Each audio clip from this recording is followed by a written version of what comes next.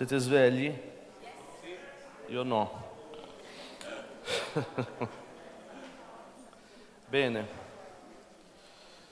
Pronti? Ah, buongiorno. Salve. Vai là dietro. Belli. Allora, il past blonde mi ha dato un tema da toccare oggi che noi lo faremo in due fasi, faremo una piccola pausa alle dieci e mezza e poi di 15 minuti e poi andiamo avanti. Eh, quello che noi parleremo oggi è principalmente di come riconoscere il cuore di un leader. Dovete pensare che quello che voi state facendo non è solo curare le persone, ma eh, come dice sempre il pastore, l'albero di mela produce mela, né? non troverai una banana appesa. Quindi se voi siete leader, state formando altri leaders, ok? Che domani saranno altri pastori e così via, no? Eh, e quindi noi dobbiamo investire nei nostri leaders, ok? Nelle persone che cureranno, che cureranno insieme a noi poi le varie chiese che stiamo aprendo, i vari ministeri della Chiesa, inventeranno ministeri nuovi. Noi crediamo in una Chiesa attiva che si muove, ok? Quindi Prima di, di, entrare in questo argomento, solo perché ho detto di riconoscere il cuore di un leader, non vuol dire che noi non diamo attenzione agli altri. Eh? Ci sono delle persone che non hanno, non, hanno, non hanno, a volte anche voglia di fare certe cose, no? E noi dobbiamo individuare coloro che sono quelli che hanno voglia di costruire con noi, non che disprezzeremo gli altri, ma ovviamente tu non investirai il tuo tempo in persone che non hanno voglia. Capisci? La differenza, non si parla di amore, si parla di investimento pensando al ministero. Noi stiamo qua formando leaders per mandare avanti il ministero. Il ministero è quello di curare gli altri, quindi basicamente tutto quello che noi facciamo nella Chiesa, sia un teatro, una danza, una musica, qualsiasi cosa facciamo, se non è per arrivare alle persone è nulla. Qualsiasi forma di arte, di espressione, di qualsiasi cosa, o di, di media, di, di media, di tutto che potete inventare, sono mezzi attraverso i quali noi cerchiamo di arrivare alle persone, ok? Se fosse solo per suonare io ero pagato fuori, quindi preferisco farlo qua perché qua la musica è usata per raggiungere le persone. Chi fa teatro, come avremo adesso la settimana del Performing Festival, loro faranno una settimana intera di arte, teatro, non so che cosa, spettacoli, reading, eccetera, eccetera, per raggiungere le persone. Quindi il nostro obiettivo primario non è costruire una chiesa bella, meravigliosa, il nostro obiettivo primario è riempire questi posti di persone che conoscono Gesù e che faranno poi a loro, a loro volta frutti. I frutti sono persone, amen? Frutti di un ministero di, di lode non è musica, sono persone. Frutti di un ministero di adolescenti non sono, non sono libri per adolescenti, sono adolescenti. Amen? Quindi noi vogliamo le persone. Quindi in questa cosa ci sono tre punti che ho pensato proprio sono cruciali per me e credo sia per la Bibbia da quello che racconta sempre.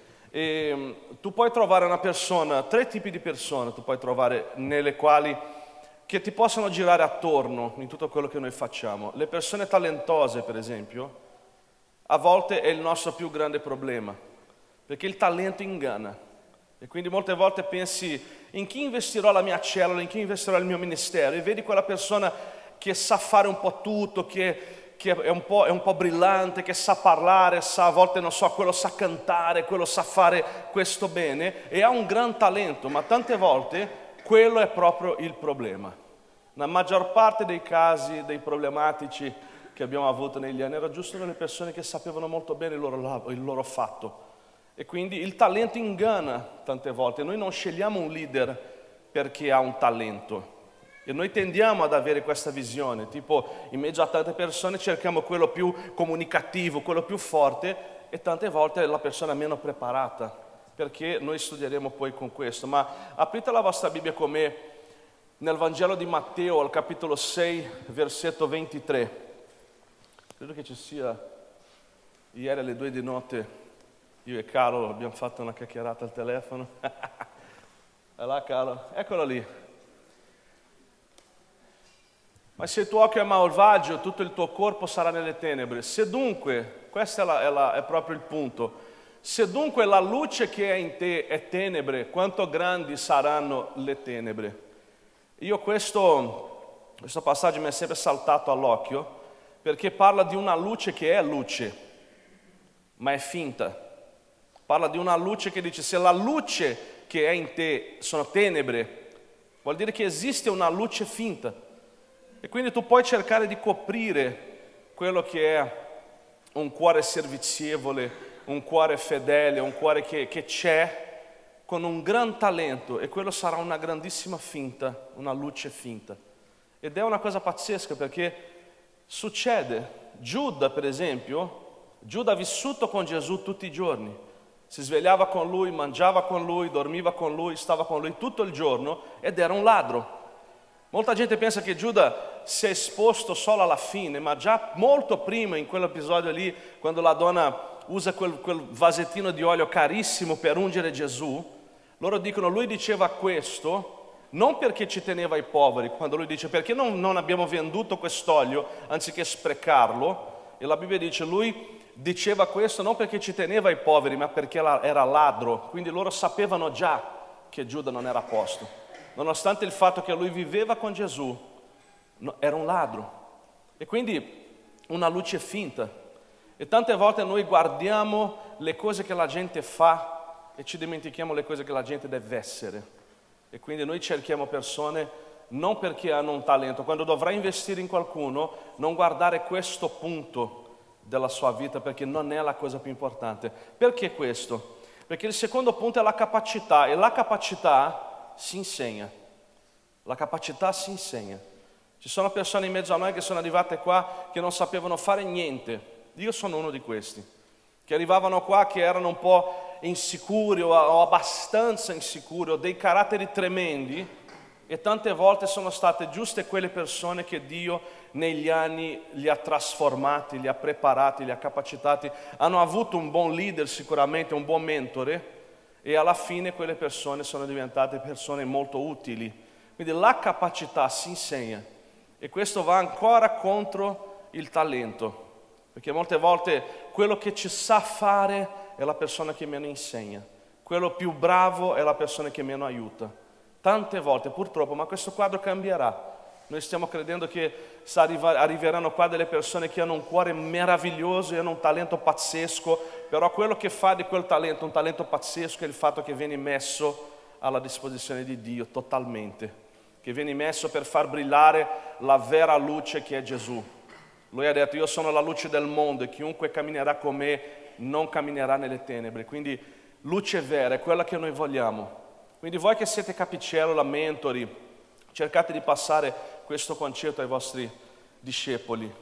Non cercate di essere qualcosa esternamente. L'esterno può anche convincere per un tempo. Tu puoi essere esternamente una persona integra, puoi sembrare, puoi sembrare una persona brava, puoi sembrare una persona umile, ma alla fine il tuo cuore dopo il tempo, il pastore appunto usa sempre questa frase, il buon cavallo si vede a lunga corsa, credo sia un detto italiano, però ascolto sempre da lui.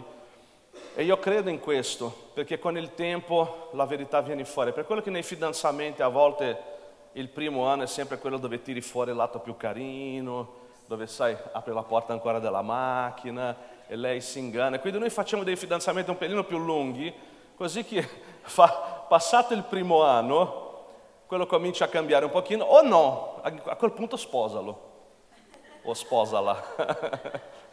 Però il, la, la, nostra, la nostra tendenza è sempre far vedere il meglio esternamente, ma le cose vere sono dentro. E c'è tanta gente qua che a volte non sembra, non sembra niente dall'esterno, ma è giusto quello che Dio vede all'interno del cuore. Dio è colui che vede nel segreto. La Bibbia dice che quando tu ti chiudi nella tua cameretta, il Dio che vede nel segreto ti ricompenserà. E quella è la ricompensa che noi stiamo cercando, quella che Dio possa guardare dove nessuno vede, dove sei solo a casa tua, dove nessuno ti sta guardando, non ci sono luci, non ci sono palchi. In quel momento Dio continua a guardare te e dire tu sei giusto. Amen? Come era Giobbe, però spero che nessuno di voi debba passare tutto quello che poi Giobbe ha vissuto. Comunque, questa è un'altra cosa, non c'entra niente. E quindi noi abbiamo detto, il talento inganna, la capacità si insegna, Giusto?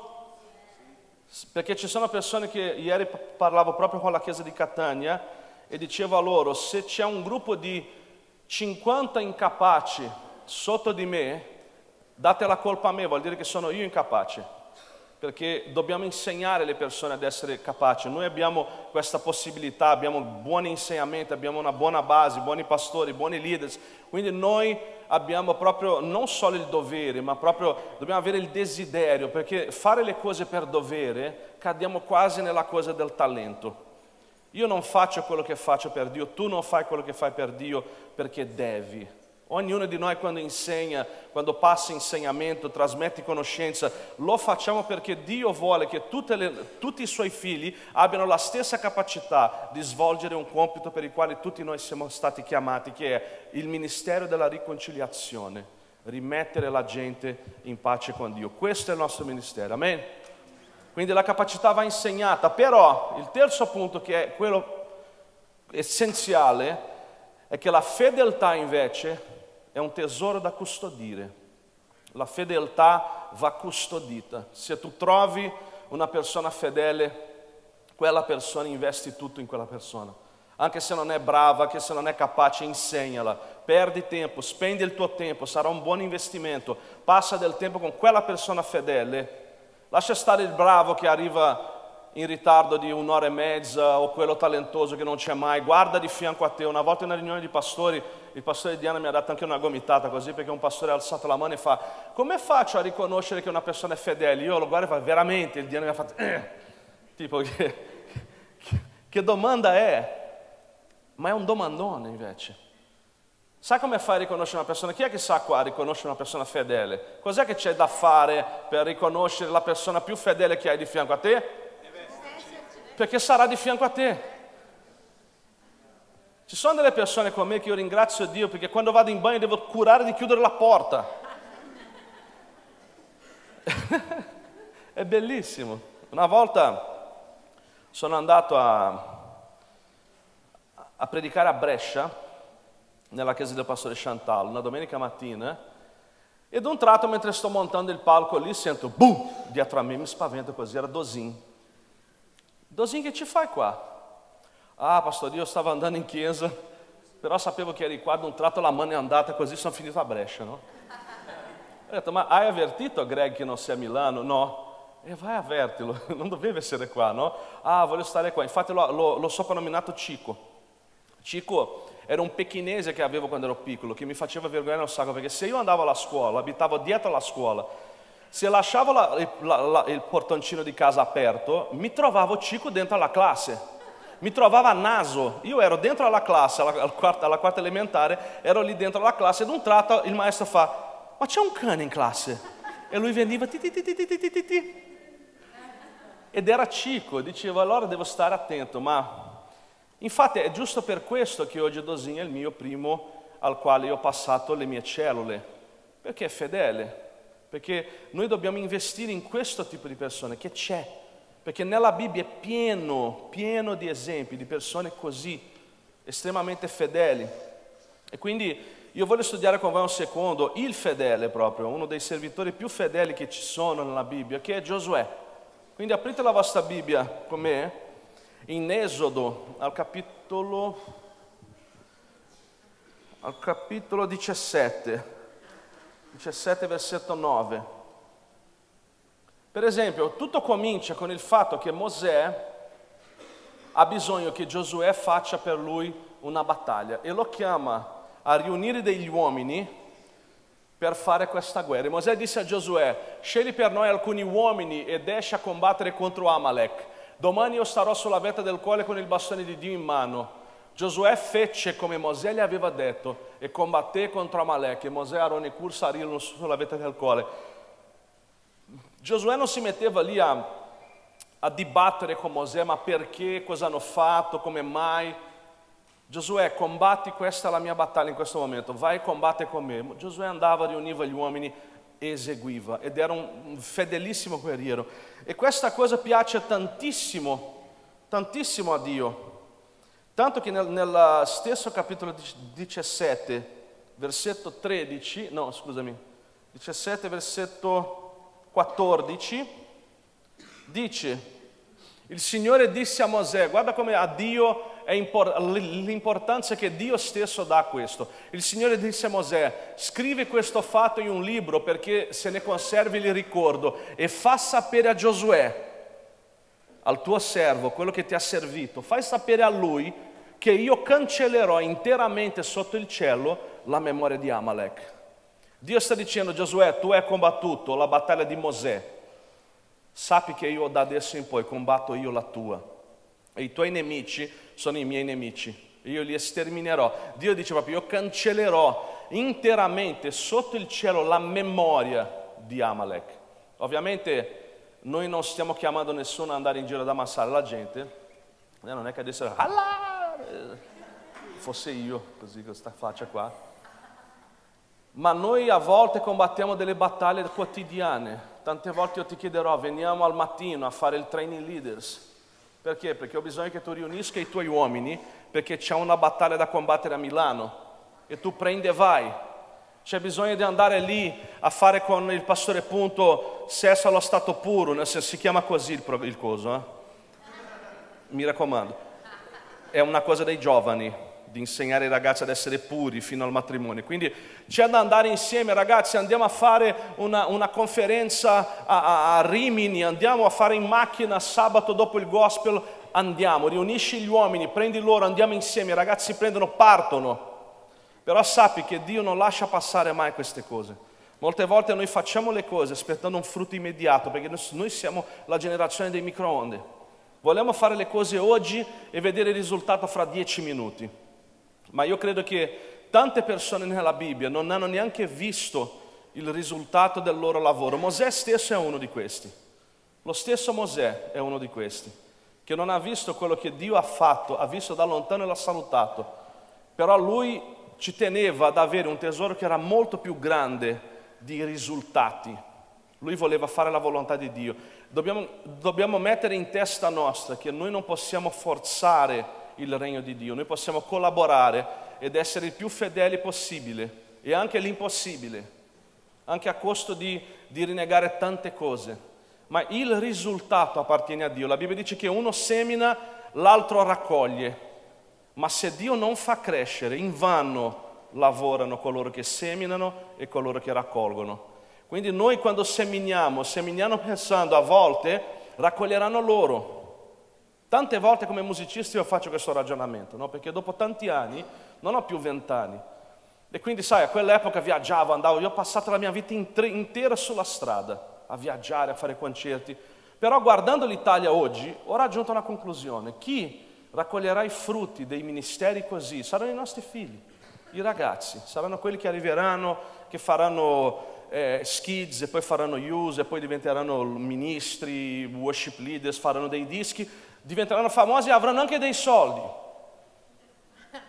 Cioè, proprio un sogno lontano in Italia. Però saranno loro a fare questo. Ma io sono sicuro che nel cielo io potrò dire, Signore, io sono il seminatore sono colui che ha seminato. Quindi tutti voi, oggi vedete una cellulina con tre persone, quattro persone, quando avrete come tanti, noi parliamo sempre di questa chiesa meravigliosa che c'è in Brasile, ad un tratto arriva, non so, Pasquale arriva qua, io, io con mia moglie stiamo curando 294 cellule.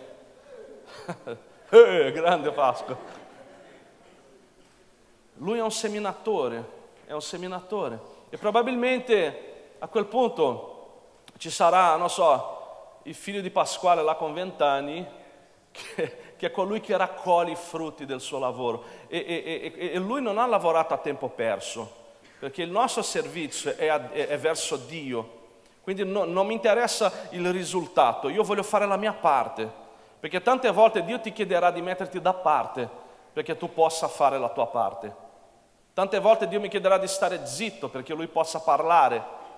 E noi a volte vogliamo fare noi il lavoro di Dio. Infatti non, non mi stanco di dire che abbiamo fatto un patto anni fa e funziona molto bene, ve lo consiglio. Nel mio caso io dico, Dio, io, io, tu non suoni la chitarra e io non faccio Dio.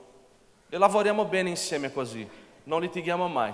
Quindi se io arrivo qua a ministrare e non mi esce niente, non ho niente da dire, sappi che starò zitto. E tante volte anche nelle nostre cellule, mentre stiamo ministrando, dobbiamo anche insegnare questo alle persone. Non devi per forza sapere tutto, non devi per forza avere una rispostina per tutto. La, a volte la, la cosa più sincera che puoi fare è guardare una persona in faccia e dire non lo so. Non lo so, ma ti abbraccerò, impareremo insieme, cammineremo insieme, scopriremo insieme questa cosa, ci rallegreremo insieme, ma non lo so. È meglio che dare tante volte una risposta tanto per dire non posso far sapere che non lo so, non lo so, non lo so è un'ottima risposta, è la verità. Quindi mentre investi in qualcuno, investi a tempo veramente perso, butta il tuo ministero nelle mani di Dio e dici Signore, il mio ministero è servire te.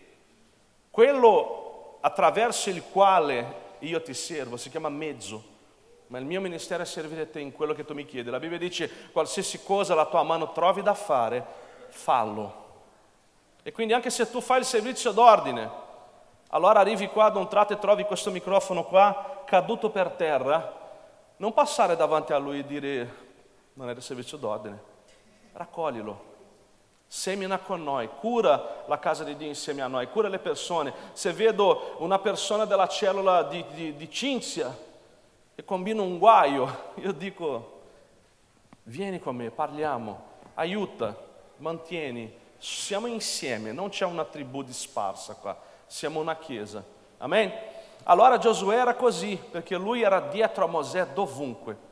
Qualsiasi cosa succedeva, Dio apprezzava molto questo lavoro, però alla fine Dio chiama Mosè, vedi, Giosuè era quello che combatteva le battaglie, quindi praticamente era diventato il capo dell'esercito. Però la Bibbia non lo chiama così, perché nel versetto 32, nel capitolo 32, versetto 17, no scusami, 24, 13, usa questo termine qua, Mosè dunque si alzò con Giosuè suo aiutante e salì sul monte di Dio. E quindi quel monte lì era tremendo perché avevano, avevano paura di quel monte, tanto che c'è stato un momento di ribellione dove il popolo chiede a Mosè e dice come mai Dio parla solo a te? Chi te l'ha detto che Dio deve parlare con te? Non siamo anche noi figli d'Abramo?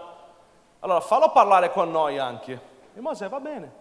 E Dio dice ok, purificatevi, lavate le vostre vesti, non toccate donna, tutte queste cose qua, purificatevi insomma e io vi parlerò. Quando arriva la nuvola di Dio e comincia a parlare, io non immagino che fosse un padone, sa, una cosa pazzesca, così un suono gigantesco, solo che loro cominciano a gridare dicendo smetti, per favore fallo smettere, moriremo così. Non so se Mosè era sordo, c'era qualche filtro, ma loro non riuscivano a sostenere questo peso e quindi quella nuvola che scendeva sul monte era, era una cosa paurosa. Però gli anziani rimangono giù nell'accampamento, Aarone rimane giù nell'accampamento, nessuno sale, ma Giosuè, l'aiutante di Mosè, va con lui. Non entra nella nuvola, ma rimane almeno a metà strada, rimane vicino, che tieni d'occhio Mosè, che non lo perde d'occhio. Perché? Perché è il suo servitore. Sapete, anni fa Dio mi ha insegnato una cosa importante. E mi diceva, sai, tanta gente vuole servire Dio, ma vi do una triste notizia Dio non verrà qua di persona perché tu lo serva. Dio non verrà qua a sedersi di fianco a te e dire fammi un caffè. Dio non farà questo. Quindi guarda un attimino la persona che è di fianco a te. Vedi? Dì ciao Dio. Perché è attraverso quella persona lì che tu servirai Dio. Quando tu entri in cellula, vedrai Dio in varie faccine, seduti sulle sedie, che aspettano che tu li serva. Servire Dio vuol dire servire le persone, vuol dire investire nelle persone. Servire Dio non vuol dire investire in te stesso. Qualsiasi ministero che investa in se stesso, poi d'un tratto si trova che non cresce. Vedete, nel mondo intero oggi, principalmente in questa nazione, io vedo che non ci sono più, e ringrazio Dio per questo, il ministero del Pinco Palino sta crollando. Il ministero della... Una, una delle cose più belle che io trovo in questa chiesa è che nessuno in questa chiesa dice di andare nella chiesa del pastore Roslin. Avete notato questo? O almeno io. Non so se voi fate così. Io mi sono accorto che non dico mai in che chiesa vai, io sono del ministero Sabbath. Perché noi abbiamo un'identità di corpo, perché abbiamo avuto un leader che ha fatto un passo indietro, che ha detto andate voi, e l'esercito quando andava insieme era, faceva paura. Infatti in tutta la Bibbia quando Dio parla di Beniamino, di Ruben, di Giuda, di Levi, di Simeone, quando la Bibbia parla di tutte le tribù di Israele, non parla di Israele, parla delle tribù si riferisce alle tribù. La tribù di Beniamino ha fatto questo, la tribù di Simeone ha fatto quello, la tribù di Giuda ha fatto quello. Ma quando si mettevano insieme e, e, e c'era una battaglia, dice che il popolo si radunò e Israele è uscito in guerra. È l'unico momento dove Dio dà il nome al popolo. Se siete insieme siete Israele, se no siete delle tribù. Amen? E quindi le aree della Chiesa, le cellule della Chiesa sono tutte nostre. Siamo tutti la stessa cosa, ognuno nella propria funzione, ognuno rispettando l'altro, uno che non intralcia l'altro, uno che spinge l'altro, uno che tifa per l'altro. Io non sono contento di vedere la mia cellula grande che, che cresce, che si sviluppa e quell'altra che muore. Non è così. Se era così vi invito adesso a prendere una pinza e staccarvi l'unghia del mignolo della mano destra. No, tanto è poco, non, non conta, non è, non è un braccio. Peggio ancora, io che suono la chitarra mi succede spesso, sai quando ti scola la carne dell'unghia? Eh, ma è così piccolo, chi se ne frega? Eh? Fa male. Non deve farci piacere vedere il nostro lavoro che cresce, quell'altro del mio, del mio compagno di lavoro, il mio amico, stavo per dire fratello, ma non, non ho 10 euro da pagare, quindi il, il mio amico qua di fianco che non sta andando bene. Noi quando pregheremo adesso, che faremo questo digiuno che parte il 9 aprile, pregheremo per i ministri in Italia e non parliamo solo dei nostri, noi pregheremo per i ministri in Italia. Chiunque predichi la parola di Dio, qualsiasi chiesa, qualsiasi chiesa di Gesù, il corpo è uno solo. E quindi l'aiutante di Mosè era il suo scudiere, era il suo generale, era tutto suo, perché lui guardava indietro e c'era quell'uomo. Amen? E poi, tanto che quando comincia il macello là nell'accampamento, è Giosuè che lo sente e grida a Mosè, oh, c'è festa eh? laggiù, mentre sei lassù a pregare, c'è festa nell'accampamento. Anzi, clamore di battaglia, lui dice addirittura, clamore di battaglia, lui pensa che, che c'era un attacco. E Mosè fa, non è festa, appena uscito Baldoria. Poi la parola Baldoria appare nella Bibbia una volta ho fatto uno studio col Pastor Steph su questo argomento. Allora andiamo avanti. Andiamo a Giudici, al capitolo 2, versetto 8. Giudici, capitolo 2, versetto 8. Però succede una cosa sbagliata. Perché Dio chiama Mosè. Mosè investe in questo ragazzo.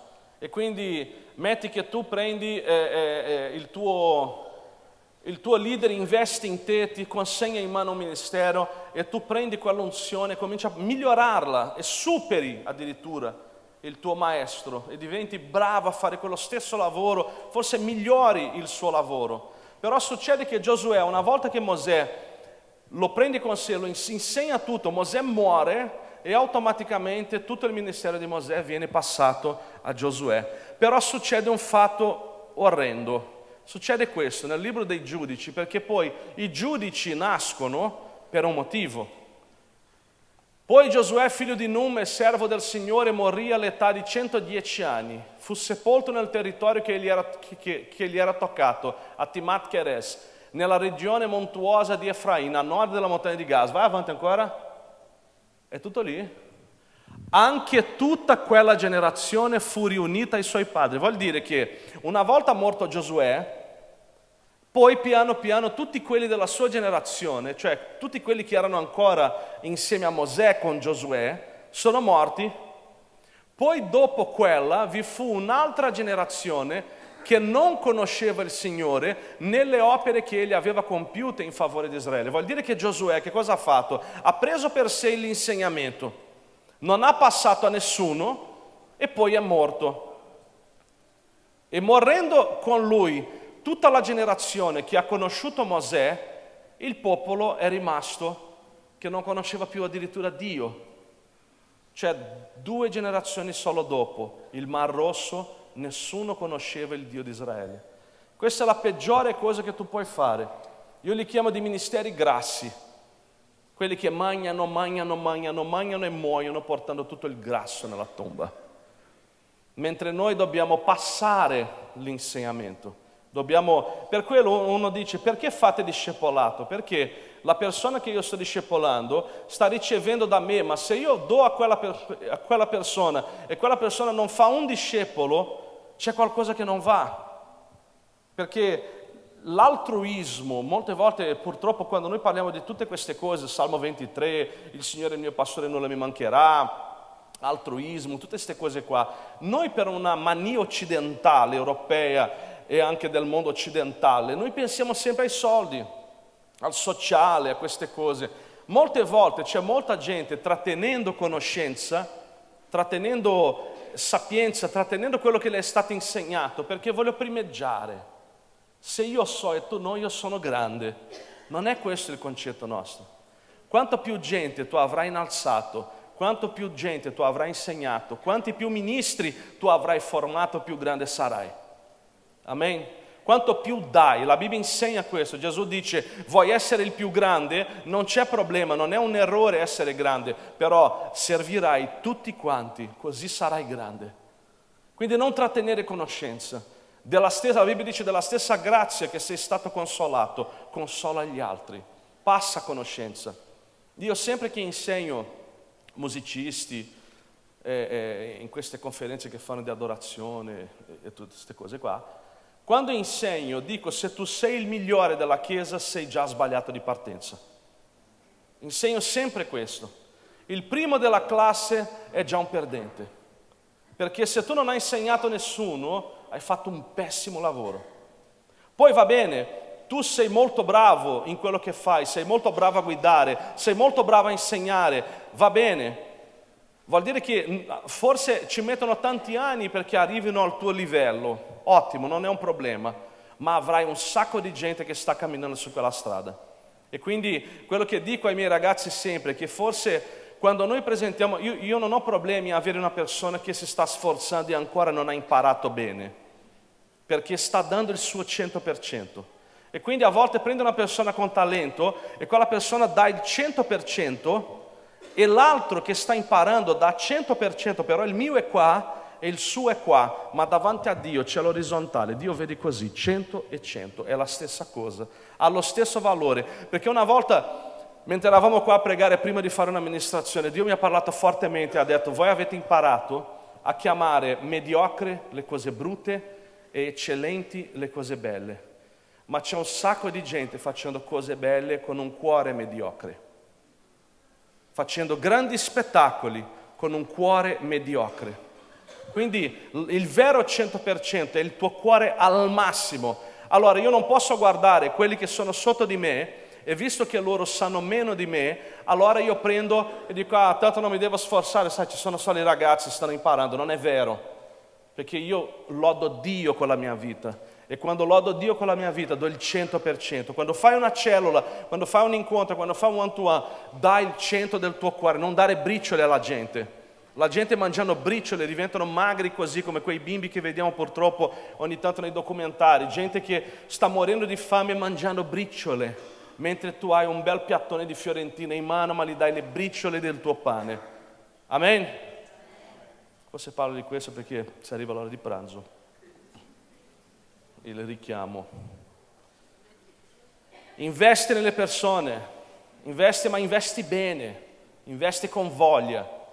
Sai, vai ma vai forte su di loro. Insegna con tutto il tuo cuore. Se hai quella perla di saggezza che hai imparato e la vuoi rilasciare, non rilasciare solo per te, rilascia a un'altra persona, insegna, parla, dici le cose una volta mi ricordo che c'è stato un periodo quando avevo fatto il terzo disco più o meno, d'un tratto non riuscivo più a scrivere una canzone e volevo fare un altro CD, però il pastore Rosa mi stava chiedendo di suonare, di, di, non so che cosa stavamo facendo, che lei voleva che io in, in, mettessi un lavoro delle musiche che stavo tenendo Per il prossimo CD però non arrivava perché ero a metà strada, avevo tipo quattro brani, avevo bisogno di almeno dieci.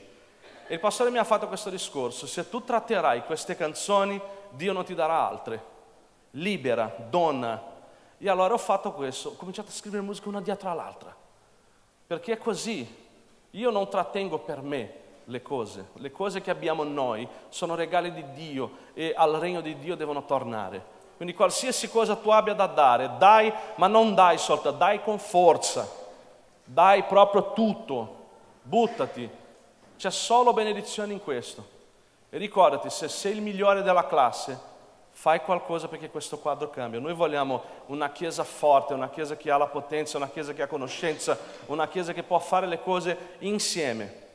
Anni fa stavo pensando in come, in, come, in come, fare con il ministero musicale. Parlo un po' del ministero musicale perché è la mia area, se fosse, fosse qua Clarissa parlerebbe del sociale, Jerry parlerebbe della, della missione, ognuno tirerà acqua sul suo mulino. Ma io vedevo un, quadro di frustrazione molto grande nella, nel regno di Dio. Guardavo proprio gente che cercava di dare calcio alle porte, gente che sta cercando l'opportunità e proviamo di qua, proviamo di là e chiamo qui vado su Facebook, vado su Twitter, vado su Instagram, faccio questo, faccio quell'altro e poi rimaneva sempre quella cosa lì un po', un po lì, acqua e zucchero e, e, e non va avanti. E rimangono frustrate a volte perché a furia di dare calci nelle porte ti fai poi anche male ai piedi e quello l'ha frustrato. A un certo punto ho pensato, sapete perché non sono frustrato? Perché il mio ministero non si chiama più Jolin, si chiama Sounds. Perché non sono più io, siamo noi. E questa cosa per il mio cuore è, è, proprio, è proprio una protezione, perché i ministeri diventano più o meno così, come un, un, un una punta di un triangolo, no? Dove c'è Pinco Palino e il suo ministero, Pinco Palino e la sua cellula, Pinco Palino e la sua chiesa. E Dio mi ha detto, se tu fai un passo indietro, camminerete così, camminerete in blocco.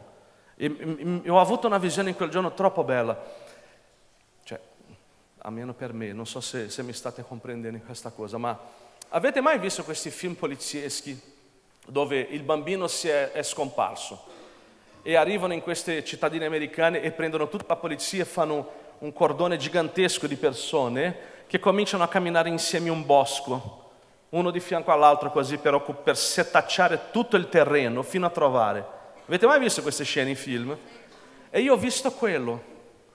Non, non, è che tu, se io dovessi camminare solo per questo palco qua da solo, cercando di pestare ogni angolo di questo palco, ci metteremo 20 minuti, camminando piano, poi con calma, non è che dobbiamo correre adesso. Eh? Però se arriviamo qua in 10-20 persone, facciamo solo un'andata così ed è fatta. E noi vogliamo camminare in Italia così, il ministero Sabbath in tutti gli angoli dell'Italia, che siamo la stessa cosa. Era bellissimo vedere la settimana scorsa al ritiro della lode che abbiamo fatto insieme, che c'erano i ragazzi di Brescia, i ragazzi di Monza, c'era Paul di Pisa, c'eravamo noi e, e, e, e non, non c'era loro, quelli, quegli altri e i nostri. Eravamo sempre noi, sono tutti nostri, siamo tutti insieme. È la stessa cosa, è bello vedere qua la conferenza One, fra poco vedremo tutte le nostre chiese insieme, se ci stiamo, è bello perché è uguale. Io non riesco a pensare a quello di Biella, a quello di Torino, siamo noi, siamo sempre noi. Sono figli nostri, il ministero è nostro, il ministero Sabbat è nostro, quindi lavoriamo per Lui. Ah, e tu dici, ma io servo Dio. Di solito questa frase viene usata con l'accento siciliano, ma io servo Teo.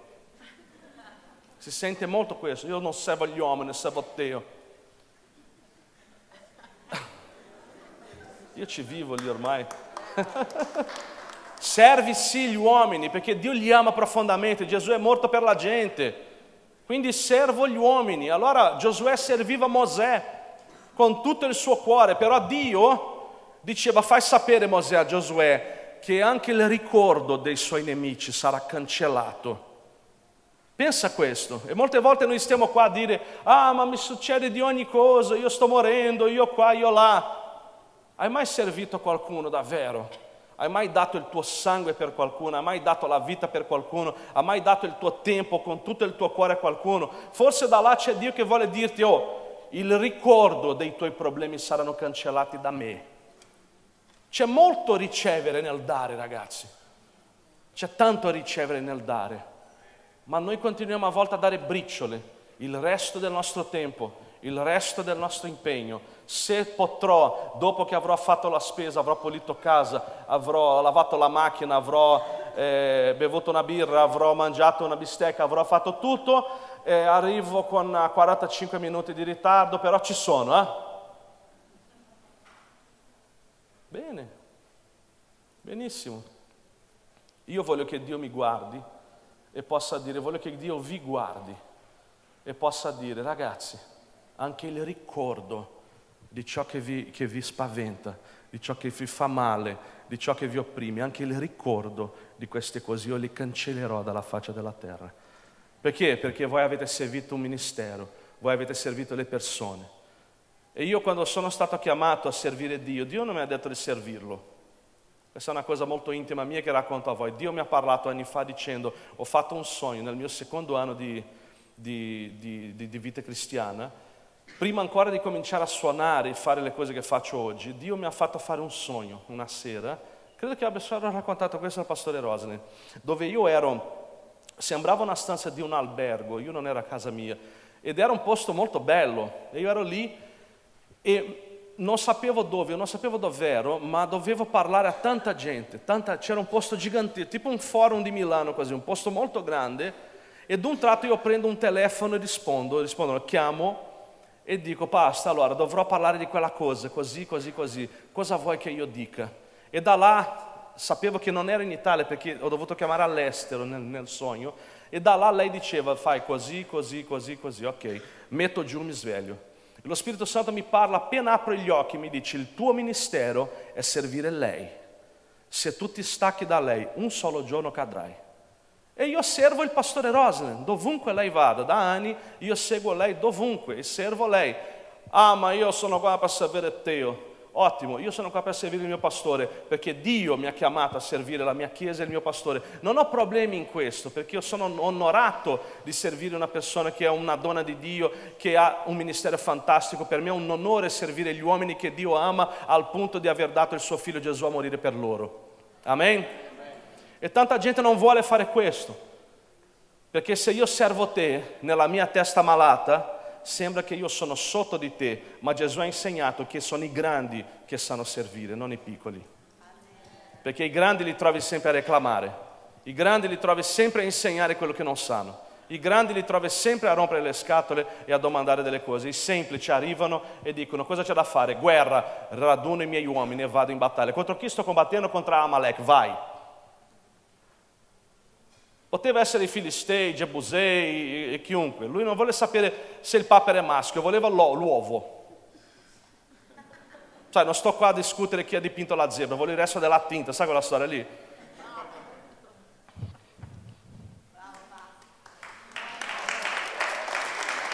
Andiamo. Parliamo del Luan. Eh, viva Luan. Viva Luan. Io amo Luan. Questa settimana ho fatto Luan di coppia, che meraviglia. Luan di coppia è sempre un po' un timore, chissà cosa dirà mia moglie, no?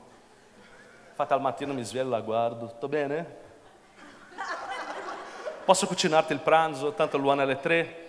No, no, ci penso io, mamma mia, ci penso io. Cosa avrò fatto? Però è stata bellissima questa settimana perché stavamo talmente bene che abbiamo parlato d'altro. C'ero io e il pastore Elisa che parlavamo, parlavamo di altre cose e, è stato molto bello. Luan. E tanti dicono, ma Luan, Luan è biblico, Luan c'è nella Bibbia, è sto One, chi l'ha detto di fare sto One?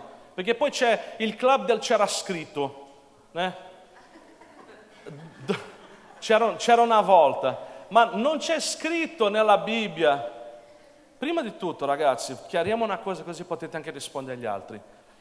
Tante cose le facciamo perché ci piace. Eh? eh? Io tipo, a me piace andare in moto, non c'è scritto nella Bibbia che c'è la moto. A me piace, fammelo fare. Fa male a qualcuno? No, se non cado. Ma non è questione di quello. Eh, però c'è, però c'è.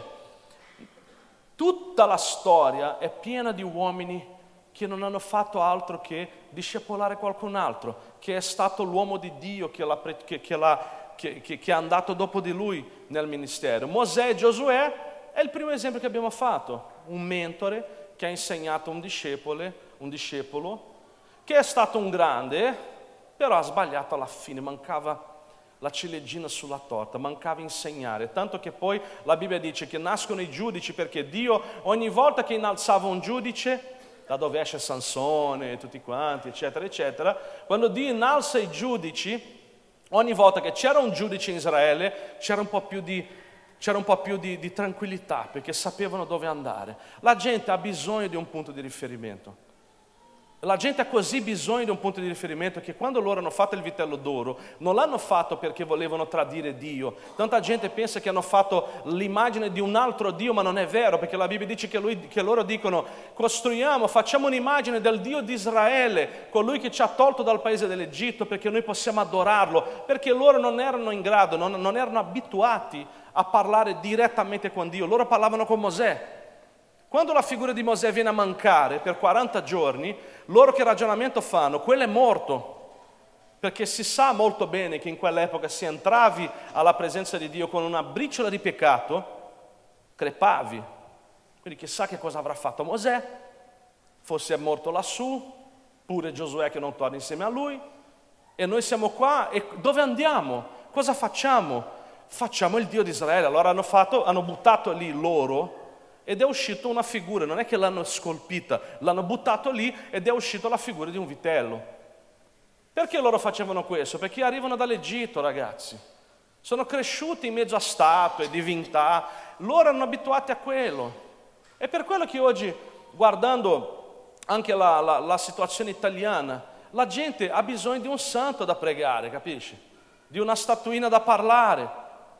Poi tanti purtroppo diventano credenti evangelici e hanno una statuina viva che si chiama pastore dove prega per me, fai per me, oh Osana nelle altezze del palco e, e tutte queste cose qua. Perché? Perché? Perché nessuno forse ti sta insegnando a parlare con Dio. Non si muore più parlando con Lui, si può ragazzi, insegnate ai vostri ragazzi, non avete fede per loro, non, non abbiate proprio, no, no, no, non sistemate i loro problemi. Voi non siete qua per sistemare i problemi della gente, voi siete qua per insegnargli la strada verso il trono di Dio, così che loro vanno a parlare direttamente con l'unica persona che può sistemare la loro vita, si chiama Gesù. E tanta gente non fa questo perché mi sento coccolato, perché se io vengo da te prego per te. Ah, oh, pastore, sto morendo. Metti la testa qua. Una mia preghiera vale più di mille giorni altrove. Cresci, insegna alle persone. Sai come il pastore mi ha insegnato questo? Ma anni fa, ogni volta, dopo, dopo un anno di conversione, non so che cosa l'ha girata, che ogni volta, come non so, non ha, avuto, non ha avuto tanta pietà all'epoca, no? forse perché ho detto, devo stringere questo qua, perché devo, devo, abbiamo bisogno di un, di un, di un worship leader, all'epoca valeva più del loro, no? dato che c'è il pastore Diana, dove sei? Ah, qua. Lei suonava la batteria, quindi immaginate la mia situazione. Allora, alla fine, ogni volta che entravo nell'ufficio del pastore dicendo, sai, ho questo peso, questo problema, lei faceva proprio così. Allora stai qua un po', vado a prendere un caffè, parla con Dio. Mi chiudeva a chiave. Chiede a lei, è vero, mi chiudeva a chiave e se ne andava. E rimanevo là così. Impara a parlare con Dio, lei mi diceva questo, impara a pregare, impara a gridare a Dio, è Lui il tuo Salvatore, non sono io. Non lasciare che la gente ti usi come stampella, perché non fai del bene né a te, perché il peso poi, ricordati che deve portare avanti anche la tua vita. Non fare da stampella agli altri, perché ti troverai con uno zoppo che guida l'altro. Insegna alla gente ad andare da colui che guarisce, così correrete insieme. Non sarete due a zoppicare mentre porto tutta una cellula e tutti i miei discepoli sulla spalla come se fosse un sacco di patate pesanti a 90 kg. Insegna la strada del trono ai tuoi figli e loro sapranno andare da soli. E tutte le volte quasi, ti sentirai quasi solo, una meraviglia. Posso pregare per te? No, grazie, sono a posto. Posso imporre le mani su di te? No, ho già pregato io, sono guarito. Posso fare per... No, fai altre cose, insegna ad altri, io ho imparato, grazie. Magari, che sogno. Che sogno sarebbe, no? E lo sarà perché noi faremo così, amen? Noi insegneremo alle nostre persone a non dipendere da noi, perché quando la gente dipende da noi può fare forse piacere a qualcuno che ha una carenza affettiva, ma a Dio non fa piacere, Lui vuole che tu insegni le persone a camminare con Lui. E quindi Mosè ha fatto questo con Giosuè. Ok, un altro, Elia. Vai caro, metti per me seconda re, capitolo 3, avrò saltato un sacco di cose, lascia stare. Seconda re, capitolo 3, versetto 11. Ma Josafat chiese, non c'è qui nessun profeta del Signore mediante il quale possiamo consultare il Signore? Uno dei servitori del re di Israele rispose, c'è qui Eliseo, figlio di Safat, il quale versava l'acqua sulle mani di Elia. Qual era il lavoro del grande profeta Eliseo? Versare l'acqua sulla mano di Elia. La Bibbia insegna che chiunque serve il profeta ne avrà la ricompensa del profeta. E allora Eliseo alla fine della vita di Elia ha detto, io non voglio una preghiera da te, io non voglio una, una, una, una buona parola da te, non voglio un regalino da te, voglio la tua unzione. Voglio che, io voglio quello che Dio ti ha dato, lo voglio per me, voglio essere come te.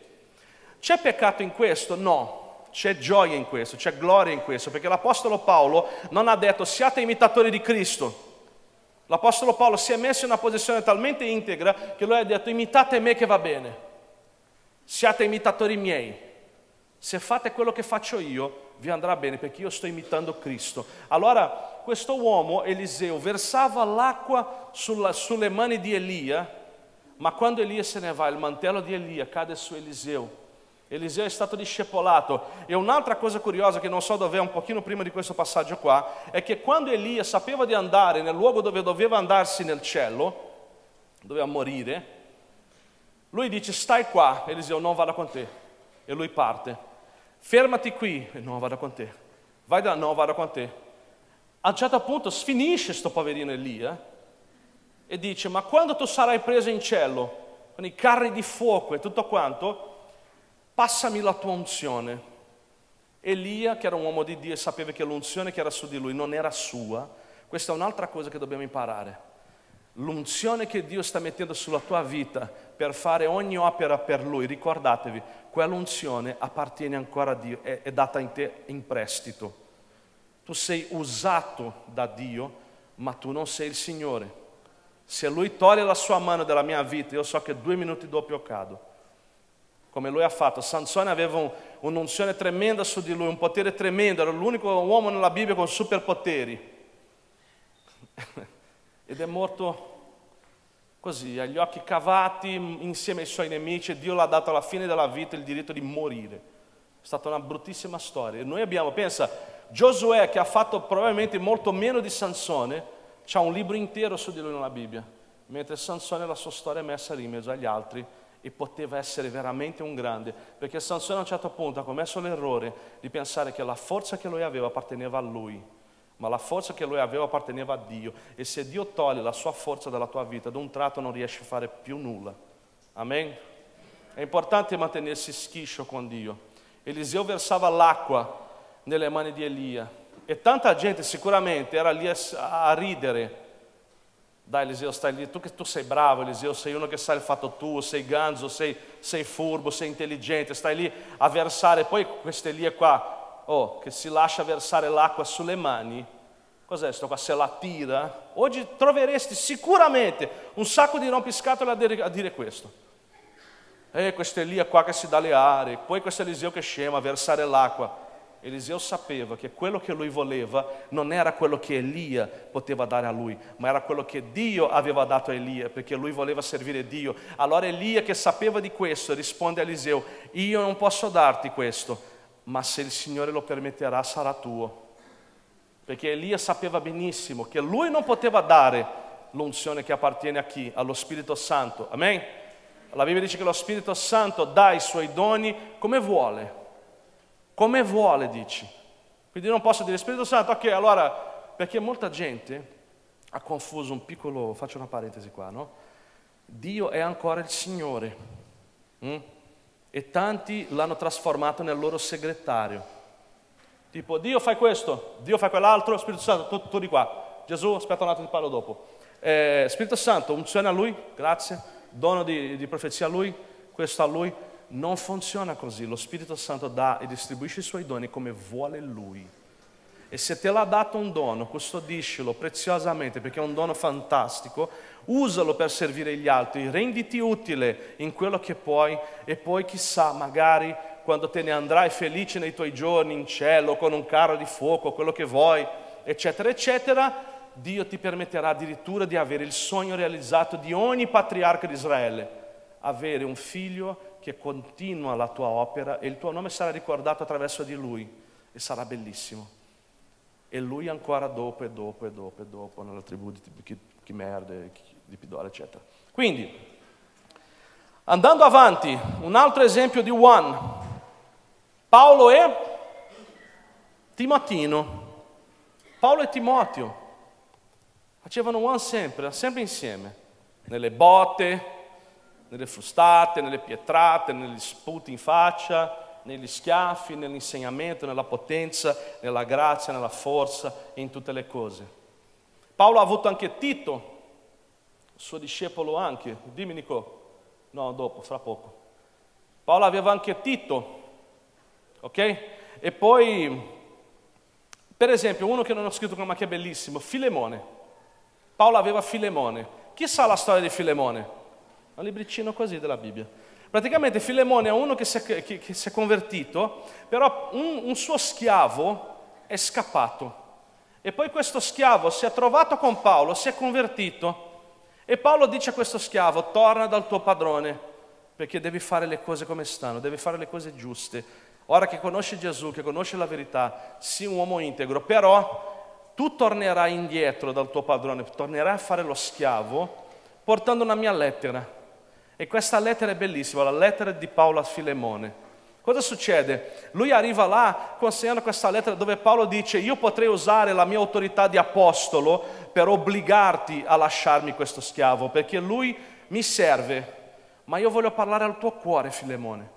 Voglio che tu faccia quello che è giusto perché hai imparato da me a fare le cose giuste. Lui è poco utile per te come schiavo, ma mi è molto utile nel ministero. Però fai quello che tu ritieni giusto. Quindi Paolo spiega molto, in un modo molto paternale, lui, lui, lui paterno, lui spiega a Filemone quello che è giusto e dice fai così perché per te come schiavo è inutile farà poco, lavorerà un po', ma nel ministero a me serve un sacco.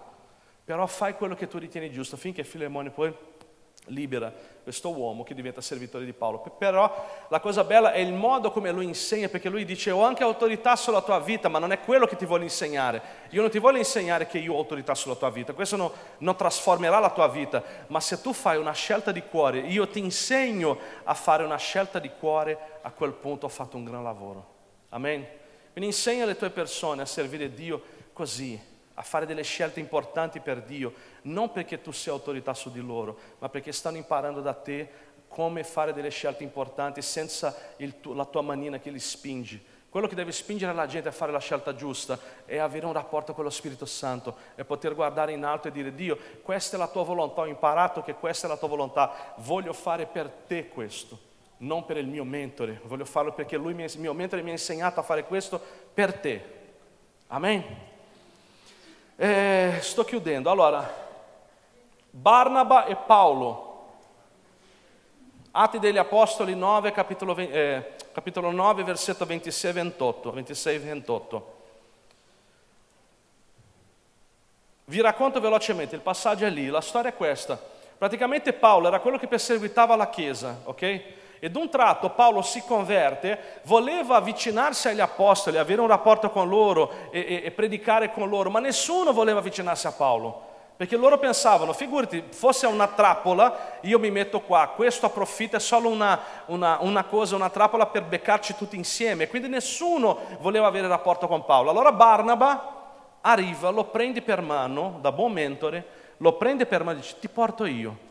E Barnaba porta Paolo fino agli apostoli, lo presenta a loro e riconsegna Paolo a loro e Paolo viene accettato perché Barnaba mette una buona parola per Paolo e poi Barnaba sicuramente veglia sugli atti di Paolo all'interno di quel, di quel gruppo. Però succede che dopo Paolo si dimentica un po' di questo diventa grande, perché questo è un problema anche.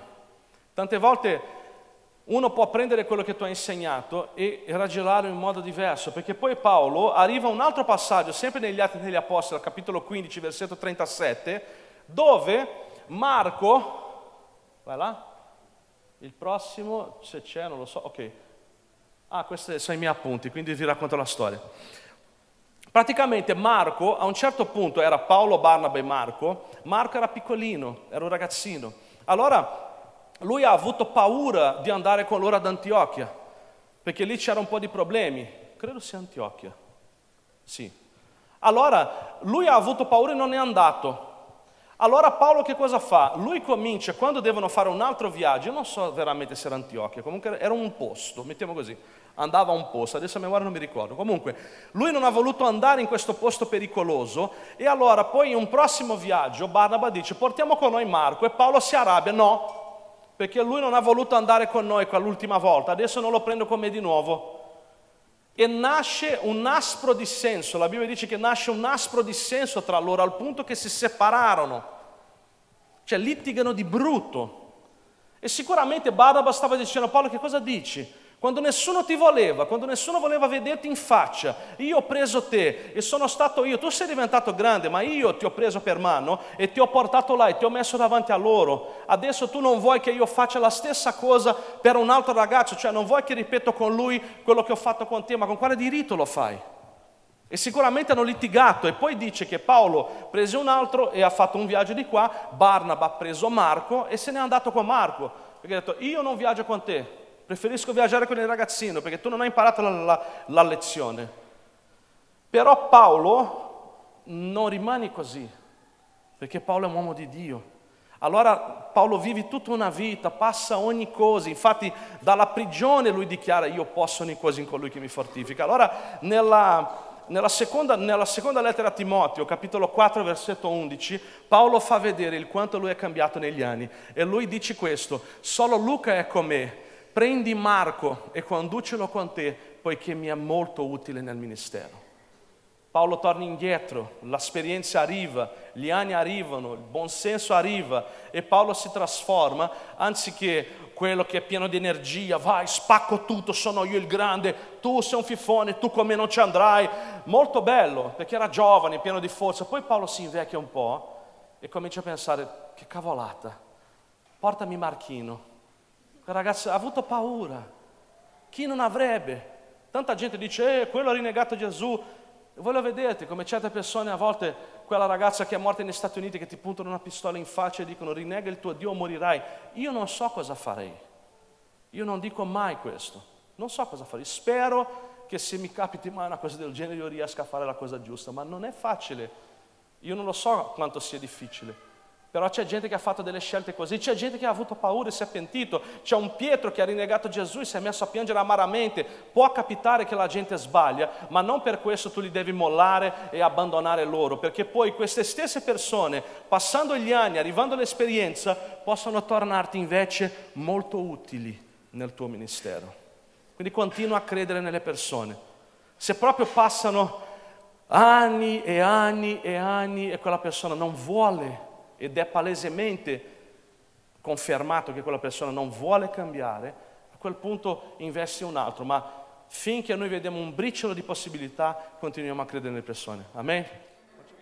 Eh, parleremo adesso di un, uno dei più grandi esempi di lideranza in tutta la Bibbia, che a me piace un sacco, quindi queste eh, sono parole mie, non del Signore. Signore, fra un po' comincerò a parlare dal naso, appena apriamo la chiesa Lendini, a Lendini vanno un po' così a Lendini, no? Quindi quando andiamo a Lendini cambieremo un po' la gente. Ok. Allora, prendiamo il libro di Nemia dal capitolo 1 fino alla fine. Eeeh, È proprio così.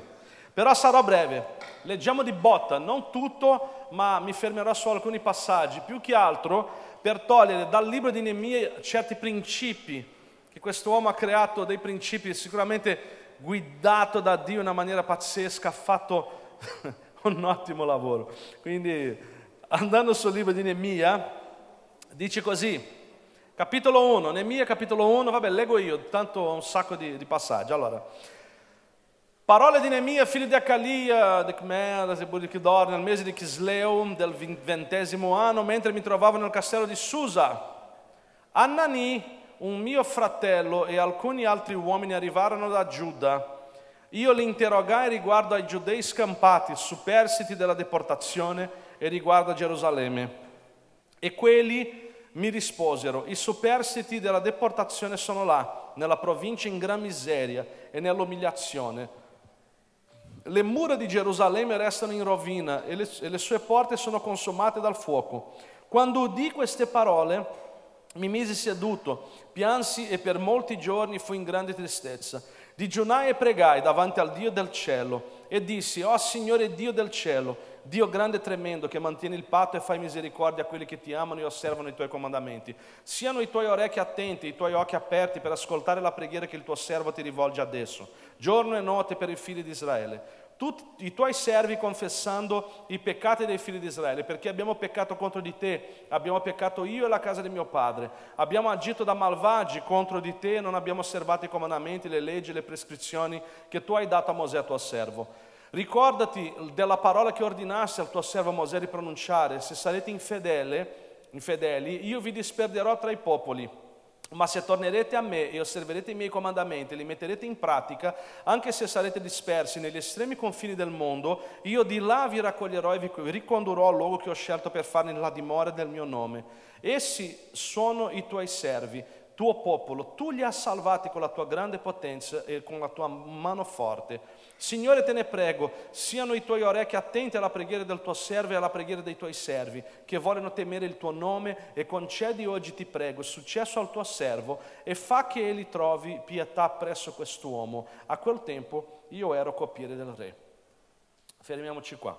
Allora, questo uomo era il coppiere del re, quindi era anche uno schiavo era in una situazione che non era bellissima, però comunque stava meglio de, dei suoi fratelli, quelli che arrivavano da Giuda dicendo la città è distrutta. Allora, la cosa bella è che prima di tutto lui, almeno riguardo a quello che erano gli altri, si trovava in una posizione privilegiata perché lui era lì tranquillo, viveva in un palazzo, sicuramente mangiava bene, veniva ben curato, perché coloro che servivano il re in quell'epoca non si presentavano sporchi davanti al re, malnutriti, erano ben trattati, coloro che servivano il re addirittura loro chiedevano persone anche di buon aspetto e di intelligenza superiore, come è successo con Daniele e con gli altri. I re non volevano chiunque che li serviva, quindi questo uomo poteva stare là tranquillo, nel suo palazzo, vivendo bene, pane garantito, nessun problema, però raggiunge ai suoi orecchi la notizia che la città di Dio è distrutta, è in rovina, le mura sono crollate, le porte consumate dal fuoco e gli dispiace un sacco. Già qua possiamo comprendere che non possiamo vivere nella nostra casettina, nella nostra chiesettina messa bene, con il nostro impianto meraviglioso, grazie a Dio che me l'ha regalato la Narei da 26.000 watt, con un mixer Digico SD09, tu che hai...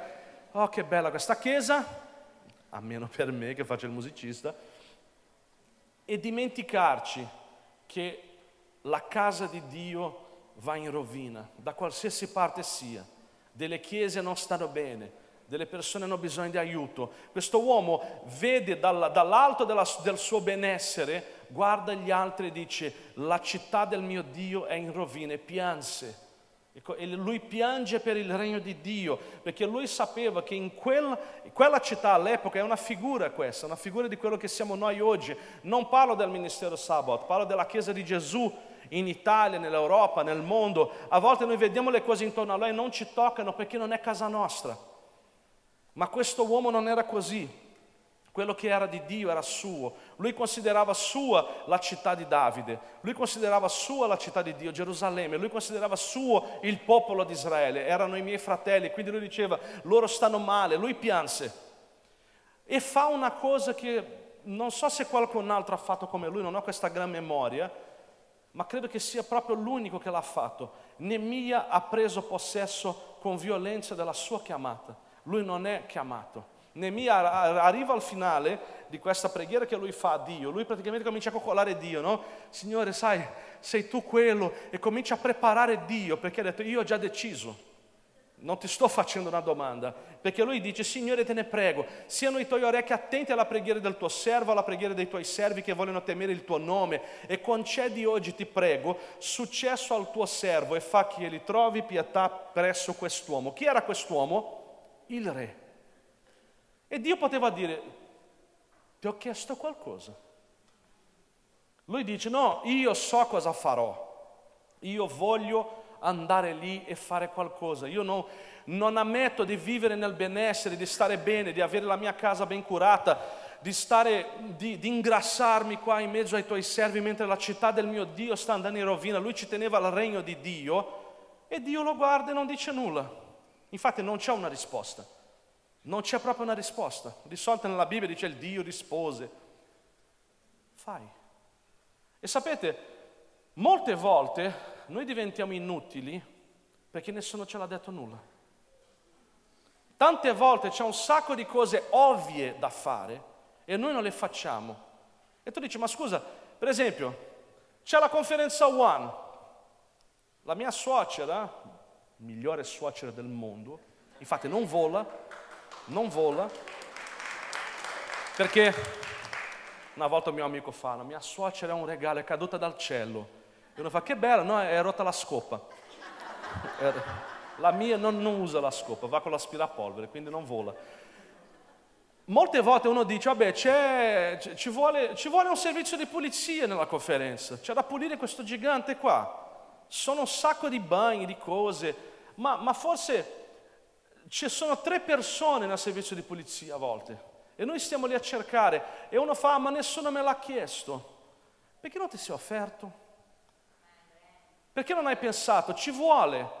Ah, perché nessuno me, me, me lo dice, nessuno me l'ha detto, perché non, non è un fatto tuo, la verità è questa. Non sono fatti miei. Allora, se qualcuno ti chiede, forse lo farai, ma c'è un uomo che ha fatto un gradino in più, che ha detto non aspetterò che tu me lo chieda, è ovvio che c'è bisogno che qualcuno faccia qualcosa, è ovvio che c'è bisogno di aiuto, è ovvio che c'è bisogno di andare lì a ricostruire la, la città di Dio. Se tu me lo devi dire, proprio scemo, ho già capito, è ovvio, si vede. È come dire, no? Il cieco, va bene che lì era un gioco di parole, ma il cieco grida Gesù figlio di Davide, Gesù figlio di Davide, Gesù arriva da lui e dice cosa vuoi che io ti faccia? Un panino. Capisci? E, e sono cieco. cosa vuoi che ti faccio? Però quella domanda è diversa perché Gesù le sta dicendo cosa credi che io possa fare per te. Capisci? Allora se arrivassi fosse forse mi puoi guarire, forse sarebbe cieco ancora. Ma lui ha detto voglio recuperare la vista e così è stato. E quindi questo è un caso, vabbè, diverso, però è importante anche sapere a osare e chiedere cose fantastiche credendo che Dio è buono ed è grande per fare ogni cosa. Però a volte ci sono delle cose che è ovvio. Io se vedo questo per terra, torniamo sempre alle cose, lo raccolgo. Vediamo, ogni tanto entro qua di pomeriggio e giro per la chiesa e vedo bottiglie. Ma queste sono cose pratiche, cose pratiche possiamo fare anche senza avere un grande cuore, basta essere una persona pratica. Una persona pratica, la praticità è anche un talento quello, i talenti possono ingannare, torniamo in quella cosa di prima, però una questione di cuore, c'è una persona che, che ha bisogno di, di, di, di, essere curata, di essere avvolta, di essere protetta, ma tu non lo fai perché nessuno mi ha chiesto, il mio capocciano non mi ha detto di andare lì ad aiutare, è ovvio, vai, prende vai. Perché c'è una parte della città di Dio, la città di Dio oggi siamo noi, questo corpo che è dove Dio abita, lo Spirito Santo abita in noi. Noi siamo la città di Dio, noi siamo le fortezze di Dio, siamo noi che ci mettiamo intorno alla città, proteggendo la città, siamo noi il popolo di Dio. E molte volte noi diciamo, ci sono, molte volte noi pensiamo, a volte le chiese all'inizio hanno un po' questo problema, no?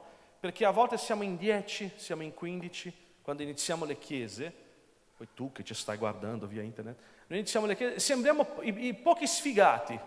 All'inizio è sempre così, sembriamo quei pochi lì che si riuniscono e, e stanno lì a, a battere contro il vento e tutto. Io guardo invece da un altro punto di vista e penso che in tutta una città Dio ha scelto 15 persone per prima. È un grandissimo onore. È un grandissimo onore pensare tra tutti quelli, perché se Dio volesse lui faceva così e tutta la città entrava qua piangendo, perché noi sappiamo che quando lo Spirito Santo tocca e convince di peccato il cuore di una persona, quella persona si getta ai piedi di Gesù. È vero o no? A me è successo così, non so voi. Eh? E quindi sono persone scelte. Ma allora sai, in mezzo a tutto quello, per esempio il pastore Davy mi raccontava questo, che una volta una ragazza, loro avevano credo un vetro rotto, vero, in chiesa, un vetro, un vetro rotto, una cosa così, ed è entrata una ragazza appena convertita alla chiesa di Monza e un tratto fa, senti ma c'è un, c'è un vetro rotto. E non è arrivata da lui a dire, oh, c'è un vetro rotto, allora o cambia o no? Oh, siamo qua, organizzati, fai qualcosa, pastore, oh, ehi. Lei ha fatto come Nemia, pastore, mi permette, addirittura è stata così, credo, no? Mi permetti di cambiare il vetro? Eh, grazie. Ed è andata, ha cambiato il vetro, ha portato, credo, il cognato, il fratello, addirittura hanno piantato una, un olivo davanti alla chiesa, ha fatto lavoro completo, ha fatto più di quello che, che, che, che nessuno l'ha chiesta, perché c'era bisogno. E noi dobbiamo vedere questo non solo nell'atto pratico, ma anche nel cuore. C'è gente che sta lì, che ha bisogno di aiuto. Venerdì scorso mi è successo questo, è stato bellissimo, perché noi eravamo lì a pregare a Brescia, tutti i ragazzi pregavano, e in fondo alla chiesa vedevo questa ragazza covasciata così che piangeva. E io sapevo che stava male. Però avevamo un programma, avevamo un programma del ritiro. A un certo punto ho detto, ma lo Spirito Santo mi ha proprio disturbato, ho pensato, ma, ma che vado a fare il programma se la persona sta male? Chi se ne frega del programma? Vado là. Ed un tratto mi inginocchio con lei, comincio a chiacchierare con lei, lei piangeva, piangeva. A un certo punto mi faccio una domanda, vado al microfono e dico, scusa, c'è qualcuno che sta male? E c'era un sacco di gente. Abbiamo cambiato totalmente il programma. Oggi noi pregheremo per voi. Io non, mi rifiuto di cominciare un ritiro con la gente che sta male. Voi sarete guariti. Poi questa ragazza ha avuto una risposta di preghiera la mattina dopo e la situazione si è totalmente ribaltata. Però c'era bisogno di stare vicino a lei più che di fare il programma del ritiro in quella sera. E quindi non è che io ho detto, ah ma nessuno, lei non mi ha chiesto la preghiera, lei non mi ha detto di fare questo. È ovvio, ma c'era bisogno, fai Fai quello che c'è bisogno. Se vedi una necessità, non aspettare che sia il capocellula, il mentore, il pastore. Se c'è una necessità, vai, occupa quel posto. Di Signore, fammi trovare grazia per quello che io farò. E parte. Allora quest'uomo va. E comincia nel mese di Nissan, il ventesimo anno del re Astate. Il vino stava davanti al re. Io l'ho preso e lo versai. Io non ero mai stato triste in sua presenza. È ovvio vivi lì nel palazzo, stai benone, il popolo è lì in mezzo ai rifiuti, alle macerie. Il re mi disse, perché hai l'aspetto triste, eppure non sei malato? Non può essere altro che per una preoccupazione. Allora fu colto da grande paura e disse al re, viva il re per sempre. Così non ammazzi me. Come potrei non essere triste quando la città dove sono le tombe dei miei padri distrutte, le porte sono consumate dal fuoco? E re mi disse, che cosa domandi? Allora io pregai il Dio del cielo, poi rispose al re, se ti sembra giusto e il tuo servo ha incontrato il tuo favore, mandami in Giudea, nella città dove sono le tombe dei miei padri, perché io la ricostruisca, perché io la ricostruisca. A qui arriva subito quel fanullone rompiscatole che fa, e tu adesso che vuoi metterti in mostra. Lascio così questa parentesi aperta. Grazie Ale. Allora fa, il re che aveva la regina seduta al suo fianco mi disse, quanto durerà il tuo viaggio? Ritor- quando ritornerai? La cosa piacque al re che mi lasciò andare e gli indicai una data. Poi disse al re, se il re è disposto mi si diano delle lettere per i governatori d'oltre eh, fiume affinché mi lasciano passare ed entrare in Giuda, una lettera per Asaf, guardiano del parco del re, affinché mi dia del legname per costruire le porte della fortezza annessa al Tempio del Signore, per le mura delle città e tutto quanto, eccetera, eccetera. Cioè, lui non solo esce benedetto, qua c'è una figura molto importante, lui non solo va a compiere l'opera che lui ha avuto nel cuore dell'ovvio, del bisogno che c'era, ma riceve dal re stesso una lettera che gli dà passaggio in ogni regione e dovunque lui andava era fornito dei migliori materiali possibili per fare e compiere questa chiamata. Quindi questa è una figura di quello che Dio fa per te oggi. Quando tu parti e chiami, perché Nemì in verità ha preso possesso della sua chiamata, ha detto io non ho bisogno di essere chiamato, mi autochiamo. E poi aspetta, non sto dicendo che chiunque può decidere cosa farà. Sto parlando di un bisogno estremo e c'era solo lui. E quindi era una cosa ovvia, ok? Ma poi ovviamente Nemia è andato sotto l'autorità e ha chiesto a quell'autorità la benedizione. A quel punto lui è rientrato in ogni schema, in ogni cosa che è giusta e buona, creata da Dio, il re lo manda e quindi lui non parte da solo contro la volontà di tutti, lui chiede a Dio, ritrova grazia agli occhi del re perché senza quello lui non sarebbe partito e allora lui riceve dallo stesso re tutto il materiale necessario. Quando tu ricevi davvero, quando sei un cuore disponibile e cominci a servire Dio e va lì dove c'è bisogno, sappi che il Re stesso ti capaciterà di ogni cosa che tu hai bisogno per compiere la tua chiamata. Tu non dipenderai di trovare le tue forze in te stesso, in quello che sai, e sarà lo stesso Re, lo stesso Spirito Santo che ti darà ogni cosa, tu sarai capacitato, fortificato e avrai ogni cosa alla tua disposizione, perché tutto è possibile per coloro che credono e coloro che credono quando si mettono ad operare hanno dal Padre, dal Re ogni materiale necessario.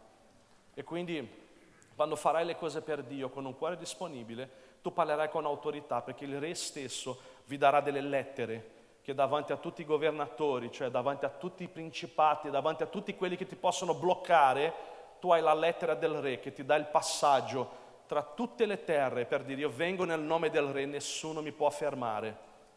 Amen? Perché il, i governatori dominavano delle regioni che lui doveva calpestare, lui doveva passare tra le terre di Israele e anche tra, tra terre straniere, ma finché lui aveva in mano la lettera del re, nessuno poteva più bloccare quell'uomo. Quindi se tu devi partire per servire Dio in qualsiasi cosa, ricordati che senza la lettera del re, senza l'ok del re, tu non farai un passo. Amen? Tanta gente muore nella strada perché parte da sola. Tanta gente parte da sola, vuole fare da solo, cioè il one show man. Vogliamo fare tutto da solo, puoi essere bravo quanto vuoi, ma se tu cammini da solo, ricordati che fare la fine di Sansone. Sansone è un uomo che ha preso sta benedetta mascella d'asino e ha distrutto tutti con una mascella d'asino, però non so se voi avete mai visto un match da box.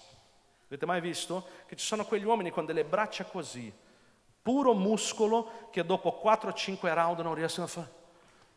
E le braccia non vanno più. Allora immagina Sansone, corpo mortale di carne, investito direttamente dallo Spirito Santo, senza il tramite che, che abbiamo noi, che è Gesù, quindi è come infilare il dito nella presa elettrica a 330 e rimanere lì per due ore. Ah!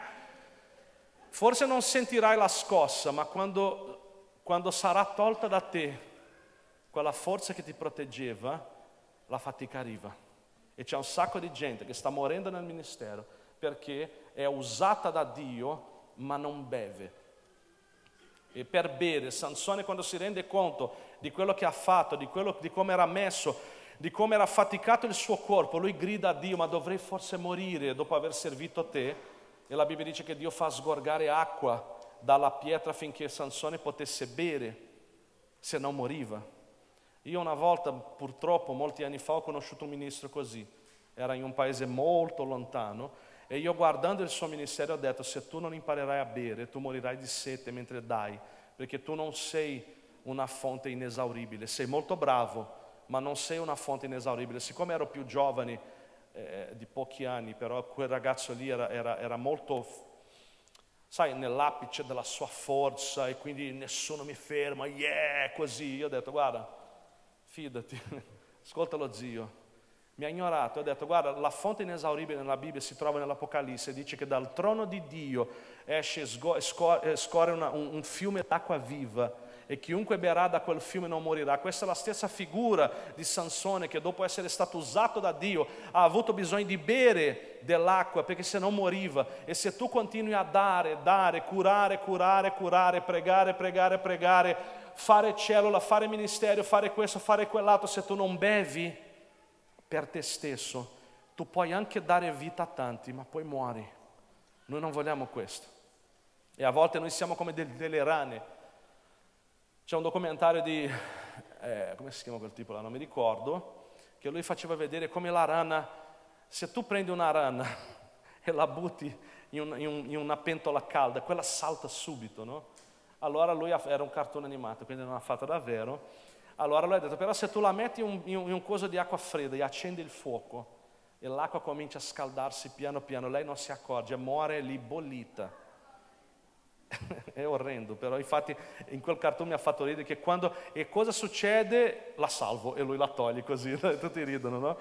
Però è vero, molte volte stai lì in una pentola d'acqua che bolle e tu sei lì tranquillo perché pensi di spaccare il mondo, ma ricordati che tu sei solo una persona e sei investito sì da una potenza incredibile, ma quella potenza è troppo per te. Quello si chiama lo Spirito di Dio in persona.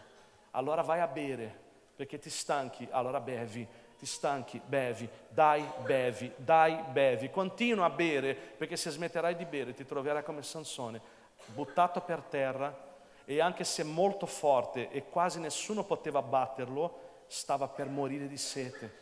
Non morite di sete. Purtroppo il ministero di questa persona è andato avanti così perché era in una città dove c'erano queste chiesettine presbiteriane molto vecchie, sai, così, vecchio stile, io ci sono andato, dicevo, lì si predica la parola di Dio, non riesco ad andare in un posto, anche se sto dieci giorni, due settimane senza andare in chiesa, perché a me piace e vado in qualsiasi chiesa, se non c'è una chiesa come la nostra andrò in qualsiasi chiesa dove si predica la parola di Dio, mi siedo là in fondo, ascolto la parola, separo le cose, le tradizioni, i modi di fare da quello che sto ascoltando, ma io ho bisogno di bere, dovunque, dovunque sgorghi dell'acqua di Dio io voglio bere. E questo ministero è crollato. Cioè un uomo che poteva fare davvero la differenza, questo ministero è crollato. Oggi questa persona è diventato un maestro di inglese e insegna inglese per vivere. Ed era forse uno dei ministri più promettenti del continente africano. Però succede. Amen. Non succederà però qua. E andiamo avanti. Allora racconta un po' la storia. A questo punto lui parte e partendo, lui va verso, va verso Gerusalemme. Allora, eh, eh, eh, così lui arriva a Gerusalemme, Nemia, che era, era, il leader, era colui che portava avanti. Da quel momento lui si è preso il carico della chiamata, il peso della chiamata, e lui va, arriva a Gerusalemme e, e succede questo. Così giunse a Gerusalemme e trascorsi tre giorni, eh, capitolo 2, versetto 11. Così giunse a Gerusalemme, trascorsi tre giorni, mi alzai di notte finalmente uno che si alza di notte non di buon mattino perché io stavo più in quella chiamata lì. Cioè chiamami alle 4, non c'è problema, ma alle 7 veramente. Allora, mi alzai di notte, presi con me pochi uomini e non parlai a nessuno di quello che Dio mi aveva messo in cuore di fare per Gerusalemme. Non avevo con me altra cavalcatura oltre a quella che usavo Uscì di notte per la porta della valle e mi diressi verso la sorgente del dragone, la porta del letame, osservando le mura di Gerusalemme, quanto erano rovinate, come le sue porte erano consumate dal fuoco. Passai presso la porta della sorgente, il serbatoio del re, ma non c'era posto per cui potesse passare la mia cavalcatura. Allora risalì di notte alla valle, sempre, insomma, lui fa il giro della città intera, cammina dovunque Un'altra cosa, se voi dovete fare qualcosa per Dio, prima di insegnare, imparate ad imparare. Imparate ad, ad ascoltare prima di parlare. Cercate di capire cosa state facendo. Se noi stiamo servendo Dio, dobbiamo costruire le mura di una città. Abbiamo un po' di umiltà perché questo uomo qua aveva l'opportunità di sbagliare.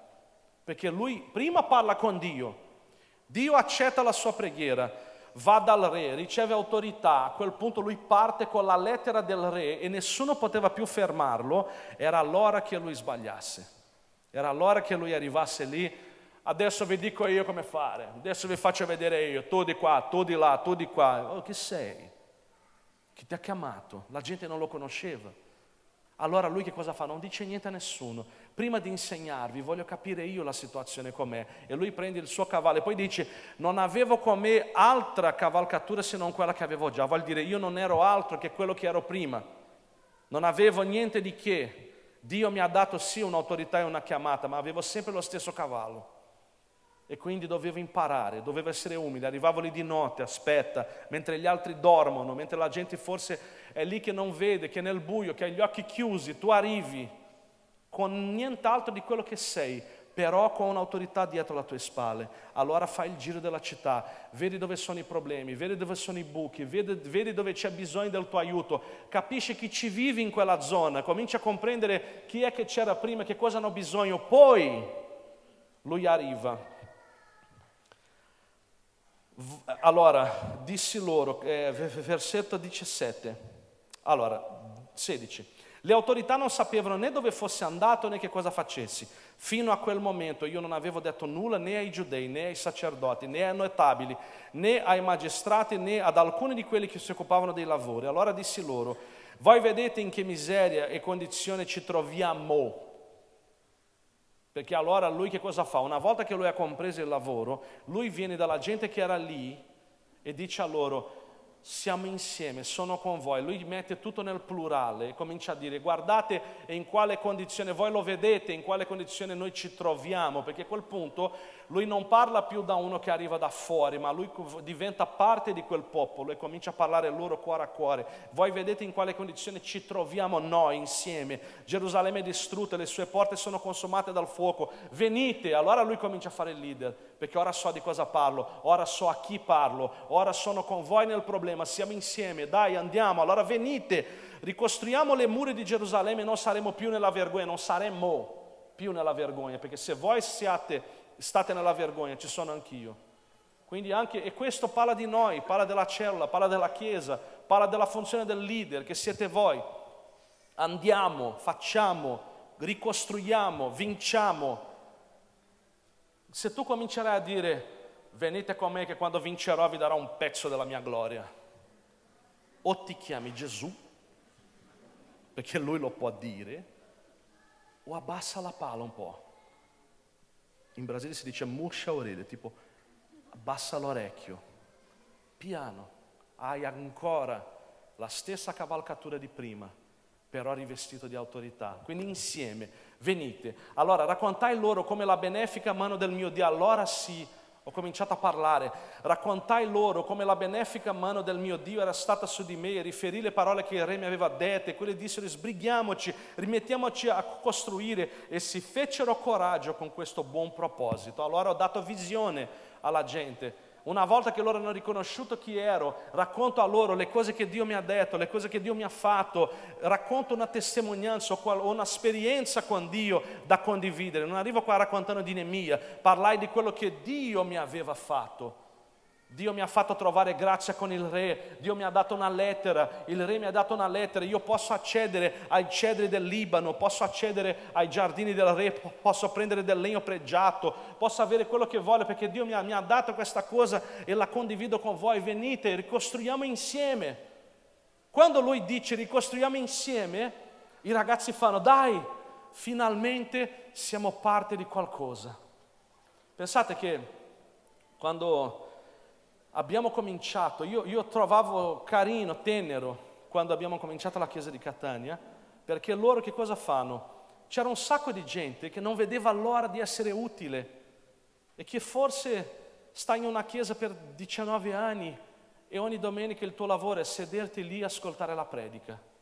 È una noia mortale, è una noia veramente mortale. La gente vuole, essere parte delle cose condivide con loro. Se Dio ti ha dato l'autorità, ti ha dato una lettera, tu prendi quella letterina lì, la spezzi in vari pezzettini da un po' a lui, un po' a lui, un po' a lui, un po' a lui, metti visione nel cuore delle persone. Dove stiamo andando? Là, stiamo andando là. Allora ad un tratto tu che guardavi sempre, in Brasile chiamiamo lo spirito di porco, no? Perché il porco cammina così. È un animale che non ha un, una, un'articolazione così qua, che non riesce a fare così. Oh. Quindi quell'animale cammina sempre così guardando il pavimento. e d'un tratto tu dici guarda là, guarda là, stiamo andando là e, e dai un, un, proposito a loro, dai uno scopo a loro e d'un tratto tutti insieme hanno voglia di lavorare per raggiungere una visione. Ma se tu non sai dove stai andando, che visione dai agli altri? Per quello che prima di dare visione, lui si è fatto tutto il giro della città. Dove noi stiamo facendo questo? Nelle zone, le zone di Milano. Stiamo attaccando le zone di Milano, ognuno che è capozona qua. Voi state girando la città, siete intorno a quella cavalcatura che avevate prima, state girando la città e vedendo dove c'è bisogno e cominciate insieme agli altri a ripassare questa visione finché andiamo là, ricostruiamo la città. Milano deve tornare ad appartenere al Signore Gesù. Allora pensiamo più apertamente, siamo in Italia, Biella, Torino, Verona, Modena, Catania, Reggio Calabria, Palermo, Roma, eh, tutti i posti dove stiamo andando, dai ognuno, vai ragazzi, stiamo circondando l'Italia, capendo cosa c'è bisogno e stiamo cominciando a camminare, allora venite, però appena succede questo, succedono problemi, è normale. Quando Gesù dice nel mondo avrete tribolazioni, non c'è un magari. Capisci? Perché a volte la, la gente pensa che è meglio di lui. Figlio, se hanno picchiato lui a morte, a te qualche schiaffino te lo daranno sicuro. Sicuro, non sei migliore di Gesù. Dì alla persona che è di fianco a te, non sei migliore di Gesù. Quando ce l'avranno con te, e lui ha detto, non pensate, non è con voi che ce l'hanno, è con me, ce l'hanno con me. Se tu fai questo, avrete tribolazioni. Però cosa c'è dopo questo? Ma non temete, io ho vinto il mondo. È che noi abbiamo questa mania di leggere le frasi a metà e creare dei concetti. Quando la gente, io, io rido tanto quando la gente fa, io posso, tutti i cristiani al mondo sanno dichiarare questa parte della frase, io posso ogni cosa in colui che mi fortifica. Yeah principalmente quelli che arrivano freschi freschi, i ragazzi arrivano, eh, io posso ogni cosa in colui che mi fortifica, yeah! yeah! Aug. Nel mondo avrete tribolazioni. Allora, sai, se tu non sei saldo, se tu non parti da un principio dove ammazzatemi pure, io voglio servire il mio Dio sempre, allora sai, capita una tribolazione, Paolo ha detto, io posso ogni cosa in colui che mi fortifica perché io ho fatto una vita pazzesca, ho predicato il Vangelo in ogni punto del mondo, mi hanno picchiato, mi hanno lapidato, mi hanno espulso dalle città, mi hanno messo in prigione, hanno cercato di ammazzarmi, sono finto morto addirittura e poi sono rientrato nella città, hanno provato, sono anni che stanno provando a buttarmi giù ma nessuno ci è riuscito perché io posso ogni cosa in colui che mi fortifica. Da dentro alla prigione lui ha detto questa frase. Amen? E quindi è vero, ci saranno tribolazioni, ma tu vincerai ognuna di queste, perché Dio vi dà forza. Se la tua forza non viene da te, se la tua lettera viene dal Re, tu passerai per terreni tortuosi, ma tu arriverai dall'altro lato. Amen e anche se si alzerà la tempesta, la barca sarà sbattuta di qua e di là e tutti saranno lì a gridare, d'un tratto arriva Gesù che cammina sulle acque e loro, ah, un fantasma! No, Ciccio, sono io, tranquillo. Sono io. Io l'altro giorno ho vissuto un'esperienza così che ero molto preoccupato, veramente preoccupato, con alcuni ragazzi che lavorano con me, ero preoccupato e continuavo a preoccuparmi, un tratto sono diventato anche un po' nervoso perché preoccupazione genera ansia e anche se lui aveva già detto non state in ansia per quello che farete perché io provvederò per te, eh, noi ci dimentichiamo queste cose sempre che c'è bisogno di, di ricordare, noi ci dimentichiamo tante volte. E io ho detto ok preghiamo perché prima ho provato in un modo, ho provato nell'altro, non funzionava, a un certo punto ho detto ok, dopo tanti tentativi umani facciamo un tentativo con Dio. Oh. 14 anni per imparare una cosa basilare. Oh, funziona. A un certo punto, a un certo punto ci mettiamo a pregare. Sai cos'è? Che tu vai a, a, a guidare una serata di preghiera e sei freddo come un ghiaccio, ero io. Freddo come un ghiaccio. Dio non mi guardava manco di striscio lo Spirito Santo si ritirava dovunque andavo. Gesù neanche si girava dalla diceva, guarda, sono, sono qui. E d'un tratto lo Spirito di Dio ha cominciato a parlare non a me, ma alle altre persone. Ha cominciato a parlare a loro e diceva loro tutte le cose che io volevo dire a loro, ma non lo diceva a me. Perché quella è stata un'esperienza fantastica, perché mi è scesa una calma, perché io non so se voi vi ricordate la predica che ho fatto durante la, l'ultima conferenza One sul cane, Fido, perché i cani a volte sono più intelligenti, loro sanno, quando perdono la posizione di maschio alfa, non gliene frega più niente, non gliene frega più niente, puoi ammazzare il branco, loro dicono, ma non è problema mio, il capo è lui. A un certo punto mi è scesa questa rivelazione di nuovo. E quando ho visto Dio che parlava ai ragazzi, io ho detto, io sto qua a preoccuparmi, è arrivato lui, mi ritiro, mi ritiro. Ho fatto 20 passi indietro, mi sono rilassato perché ho detto, quando Dio prende le mani in cosa, eh, le cose in mano, io mi rilasso, mi rilasso. Perché se Lui sta operando, io posso dormire tranquillo, perché non temete, io ho vinto il mondo e lo vincerò ancora. E quando voi non sapete cosa fare, io entro in mezzo, combatto io la vostra battaglia, vinco io. Perché? Perché Lui ci vuole bene. Perché il giorno che tu crescerai e vincerai, tu saprai che nel momento in cui non sapevi niente, non sapevi neanche cosa fare, è Lui che, che ha fatto per te. Allora la Bibbia dice, Dio non condividerà la sua gloria con nessuno. Dio non permetterà che io risolva i suoi problemi, perché Dio vuole fare Lui per proteggere me. Dio è geloso, no. Perché la Bibbia dice, non temete, o oh piccolo vermiciattolo. Se ci dà del vermiciattolo, non temere, o oh Israele, piccolo vermiciattolo perché al Padre è piaciuto condividere con voi il suo regno. Quindi Dio vuole condividere con noi il suo regno. Lui non vuole solo che noi cadiamo nello sbaglio di pensare che il regno è nostro. Cioè rimani sapendo che è mio. Continua a fare le opere che ti ho dato perché stai servendo me. E quindi lui quando ha fatto questo mi sono ritirato. Allora a quel punto loro cominciano a lavorare, lui comincia a raccontare a loro quello che Dio aveva fatto. Ed è stato bellissimo, tutti si rallegrano ed era meraviglioso, però arriva la persecuzione perché tutti quelli che erano intorno a loro avevano paura di loro, perché dicevano questo popolo è forte, questo popolo che era debole, era in mezzo alle macerie, questo popolo che non valeva niente, si è messo insieme. C'è un'altra persona che ha messo insieme un esercito di persone malandate, chi era? No, Davide. Quando Davide fuggiva di Saul, si è rifugiato nelle caverne e nelle caverne ha trovato tutti quelli che avevano debiti, tutti quelli che, che, che, erano stati gettati via dalla società, tutti quelli che nessuno voleva. Davide li ha preso con sé ha detto questo è l'esercito di Davide e faceva paura. Ma sapete perché? Non avevano più nulla da perdere.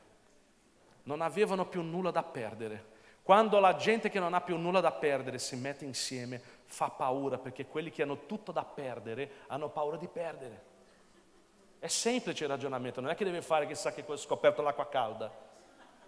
E noi siamo un popolo così, infatti quando guardo noi, quando guardo me, guardo le persone che stanno intorno al pastore Rosne, e dico ma lei non fa una piega, non, non, ha mai avuto, non ha mai toccato un uomo in tutta la sua vita, è avuto separata per Dio dall'infanzia, poi intorno a lei si trova me, pastore Punto, drogato qua, drogato là, pastore Giannone, non so manco dirvi la storia, quello là arriva da, dalla Colombia, parente diretto di Pablo Escobar che faceva il traffico di droghe, oggi fa il pastore a Monza e dico ma sei circondata da personaggi orrendi. Noi siamo l'esercito di coloro, voi, cioè sto parlando di noi per non parlare con voi, perché se parlo di voi da qua ne escono meraviglie. Eh, l'altra anoressica, l'altro, l'altro non so che cosa, l'altro sfigato, l'altro balbuziente, l'altro violento, l'altro scemo, l'altro...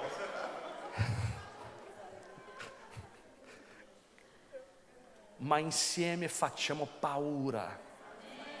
questo esercito di gente messa malandata che nessuno voleva, cade in mano a una persona che ha avuto una chiamata e una lettera dal re e insieme facciamo veramente paura. Allora tutti quelli che stanno attorno a noi, che vogliono mantenere il loro regno, e qua parlo di cose spirituali, di principati, potestà, demoni, tutte le schifezze, tutti quelli che sono coloro che dominano la regione, loro non vogliono più che noi ci mettiamo insieme così, perché sennò facciamo strage. Quell'esercito faceva paura Faceva veramente paura, andavano in mezzo alle caverne, andavano di nascosto, prendevano, arriva vicino al re, gli taglio il lembo del mantello, guarda qua Cicciò, se volevo ti ammazzavo, ma non ti ammazzo. Era, era fac- Io immagino, perché la Bibbia dice che Saul era, era andato a fare la cacchetta, né? Eh, lui era lì, sai, c'era una caverna, oh, ragazzi, vado un attimo in bagno, non c'era il bagno perché se ci fosse il bagno, trovavi mia suocera lì dicendo chi vuole pulire? Ma non c'era, era una caverna. Secondo me, quando Davide l'ha fatto vedere il lembo del mantello, ne l'ha fatta di nuovo. Fa paura, fa paura.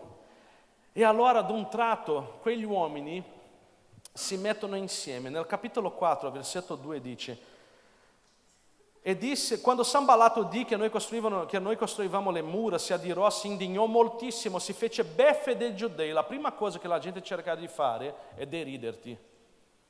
La prima cosa che la gente cercherà di farti è deriderti. Tu devi essere un, un, un cristiano convinto. Mi ricordo una volta stavo suonando e c'erano i musicisti di questa band che suonavano con, con, con, con Gianluca Grignani l'altra opzione era rubare, quindi eh, ogni tanto si facevano questi lavori così. Allora, allora, mentre eravamo lì a cena, il percussionista mi guarda perché tutti sapevano, mi chiamavano reverendo. Questo era profetico, non lo sapevano. Perché Dio poi ride di loro. E allora, ah, reverendo, reverendo, reverendo, ogni Natale mi chiedevano di pregare, queste cose qua.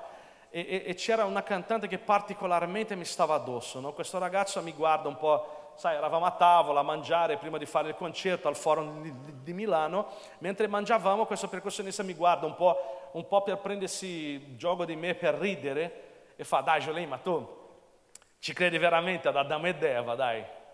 Io mangiavo, ma non è che sono cambiato, mi è, mi è venuto qualcosa che ho detto, guarda, io credo ad Adamo, ad Eva, a Noè, alla barca, al camelo, all'asinello, alla mucca, alla mangiatoia, a Gesù, al tre re magi. Credo in qualsiasi cosa ci, stato, ci sia stata in quella parola che si chiama parola di Dio, perché io credo in tutta la Bibbia, perché la mia certezza, la fede che ho si chiama fede, perché è certezza di cose che non si vedono e verità che si sperano. Io sono certo di tutte le cose, non ho un'opinione che secondo me sia stata così. Io sono sicuro che quello che la Bibbia dice è la verità, perché la verità è Gesù e io credo totalmente nella Bibbia e torno a mangiare. Ma io sono convinto perché poi non deve litigare con la gente. La gente deve comprendere che tu sei convinto. La gente deride coloro che non sono convinti. Nessuno mi ha più preso in giro perché si è fatto un silenzio a tavola. Io non sono stato aggressivo, sono stato convinto. È una cosa che mi ha insegnato mio padre anni, anni, anni, anni fa quando ero molto giovane avevo questo problema perché ero, ero, ero eh, non so se riuscite a credere a questo, ma ero, ero magro così, ero magro veramente così. E io, eh, sai, suonavo nella sera, io ho cominciato a suonare nei locali notturni con 15 anni, 15-16 anni ero già a, a, fare le noti e le serate, no? E quindi tipo 18 anni, magrolino, mettevo le mie chitarrine così, che poi non erano mie perché chiedevo sempre in prestito le chitarre di altri per lavorare, e, e quindi arrivava sempre quell'ubriacone alle tre di notte, fa suonare una cosa, fammi suonare. Io, io, guarda, non è mia la chitarra, e, e, no, fammi suonare. No, guarda, non è mia, non posso perché avevo paura. E quello finiva per litigare con me e io alla fine dovevo dare che se no mi prendeva anche di botte. E vado dal mio padre che è un musicista di vecchia data, di grande esperienza, e dico papà come fai? Ti chiedono anche a, che, a te di toccare la tua chitarra tutti i giorni. E come fai? Lui fa un no secco, educato, ma convinto, convince. Come? Così. Posso toccare la chitarra? No. Ma non mi picchiano. non ti picchiano, ti picchiano se fai, eh, eh, eh, sai, lì loro prendono autorità su di te perché capiscono che tu non sai di cosa stai parlando. Oh, arriva una sera, mi arriva questo tipo così. Posso toccare la chitarra? No. Si è girato e se n'è andato. Funziona. Ma se funziona con un ubriaco, in un locale notturno alle tre di notte, Può non funzionare con la parola di Dio, che è la potenza di Dio, davanti alla gente che non crede? Scusami. Convinzione. Allora, lui si è indegnato, allora, e disse in presenza dei suoi fratelli e dei soldati di Samaria, che fanno questi giudei indeboliti? Ah, tu lo credi? Che fanno questi giudei indeboliti? Li lasceremo fare, offriranno sacrifici, finiranno in un giorno, faranno forse rivivere delle pietre sepolte sotto mucchi di polvere e consumate dal fuoco? Tobia la moneta che gli stava accanto disse, costruiscano pure, tanto se una volpe salta, ci salta sopra, farà crollare il muro di pietra. Dov'è che nella Bibbia si parlano ancora di volpi? Che sono le piccole volpi che distruggono la vigna. E quindi arrivano CCC, problemini vari, quello e quello che parla con quello, e quello che, che parla male di quello, e quello che fa questo, e tu, che non so che occhi hai spirituali, ma tu hai fantastici occhi spirituali, vedi queste cose, combatti queste cose, ma c'è gente che le lascia fare, che crede a loro. E il mondo comincia, la tua famiglia comincia, ah ma allora sei diventato scemo? Sei quello che va in chiesa? Tanti musicisti, tanta gente, tanti ministeri non vengono fuori perché poi la famiglia stessa a volte comincia a dire sì ma sei diventato ritardato, adesso vai in chiesa, adesso vai lì a pregare Gesù, sei diventato sfigato, ah non vado a letto più con tutti. Voglio vedere i maschi quando dicono questo, è una cosa assurda. Per le donne ancora non so se è un po', un po meglio, non so oggi, alla mia epoca era meglio un pochino, ma quando un uomo, principalmente se è un bel ragazzo, dice io non faccio sesso prima del matrimonio, per il mondo è uno schiaffo. Il mondo odia perdere queste persone. Infatti una volta, una volta c'era un ragazzo che veniva qui in chiesa a fare il fotomodello e io ho detto a lui, sai che ogni volta che tu non ti dai, perché lui era molto ricercato, figurati, era bellissimo, è l'unica volta che dirò questa frase qua, mai più i cancelli dal video questo. Lui era un bel ragazzo, molto bello, eh, lo faceva di lavoro, il suo lavoro è essere bello. Come, non so, Zullender, né? Il mio lavoro è essere fico, fico, fico, assolutamente fico in maniera assurda. Alla fine ho detto a lui, sai che ogni volta che ti rinneghi, che tu non ti dai al mondo, il mondo soffre, ma il cielo gioisce. Ogni volta che tu non permetti al mondo di toccarti, gli angeli applaudono. Capisci? Perché tu appartieni a Dio, tu sei prezioso. E lo dico anche alle ragazze, tu sei un bene prezioso, non darti a chiunque, vendicare la tua pelle. Tu sei figlio del Re Altissimo, tu sei il figlio di Dio, vendicare la tua pelle. Una persona per averti deve darsi da fare. E non parlo di bello o brutto, perché l'amore veramente cieco, a volte sono anche sordo e muto. Amen. Andiamo qua, se no... Allora loro cominciano a dire a Dio, ascolta Signore, siamo disprezzati un pochino, però cosa succede? Loro creano un sistema, perché cos'è che succede? Eh, loro creano un sistema che il, mu- il muro, le mura erano piene di buchi, ok? Sto concludendo, finiremo a tempo oggi, mezzogiorno ho finito. Le, vi sto annoiando? No. Ok. Perché siete così concentrati, non so, né? Sì, boh. Ok, allora le mura erano piene di buchi. E cos'è che succede allora? Tu per lavorare devi prendere con le mani le pietre. Quindi loro si abbassavano, prendevano le pietre e rimettevano nel posto giusto e lavoravano così. Però i nemici loro, siccome non avevano il coraggio di affrontarli faccia a faccia, questo è quello che il diavolo fa tutti i giorni, perché quando sei forte, quando stai pregando, quando sei una persona dritta così, forte in Dio, non ti attaccherà mai, ma appena ti trovi un momento di debolezza è lì che lui attacca. Allora c'erano delle piccole brecce nel muro e quindi mentre il lavoratore abbassava la testa e prendeva la pietra, loro arrivavano dalla breccia con una lancia e infilzavano lui e correvano, meno uno. Allora Nemia crea un principio fantastico, che è il principio dell'intercessione. Bellissimo. E dice così, i giudei però che residevano vicino a loro nemmeno dieci, eh, vennero dieci volte a riferirci questo da tutti i luoghi da cui provenivano. Allora io disposi il popolo per famiglie, con le loro spade, le loro lance e i loro archi, nelle parti più basse del posto, dietro le mura allo scoperto. Dopo aver bene esaminato ogni cosa, mi alzai e dissi ai notabili ai magistrati e al resto del popolo, non li temete, ricordatevi del Signore grande e tremendo, combattete per i vostri fratelli, per i vostri figli e figlie, per le vostre mogli e le vostre case quando i nostri nemici si accorsero che eravamo al corrente del loro piano, Dio rese vano il loro progetto e noi tutti torniamo alle mura ognuno al suo lavoro. Da quel giorno la metà dei miei giovani lavorava e l'altra metà stava armata di lance, di scudi, di archi di corazze e i capi stavano dietro a tutto il popolo di Giuda. Vuol dire che lui metteva un ragazzo giovane a lavorare che prendeva le pietre. Voi dovete fare il lavoro duro, eh? noi dietro. Allora prendevano le, quando, quando, uno abbassava la testa e prendeva la pietra, l'altro dietro aveva una lancia lunga e lo proteggeva. Se il nemico spuntasse dalla breccia, anziché lui che infilzava quello che aveva la testa bassa, io che sto curando lui, gli guardo le spalle, lo infilzavo io, un di meno. Cambiamo la storia.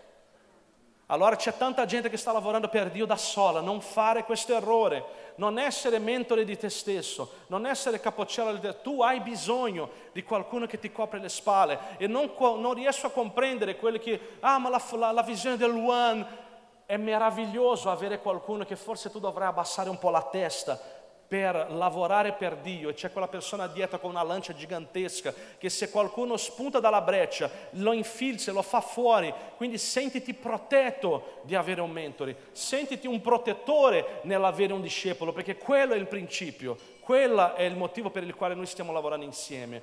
Se non ti piace la visione del one, vuol dire che non ti piace essere protetto, non, piace, non ti piace proteggere gli altri. Allora cosa stiamo facendo? A quale Dio stiamo servendo? Amen.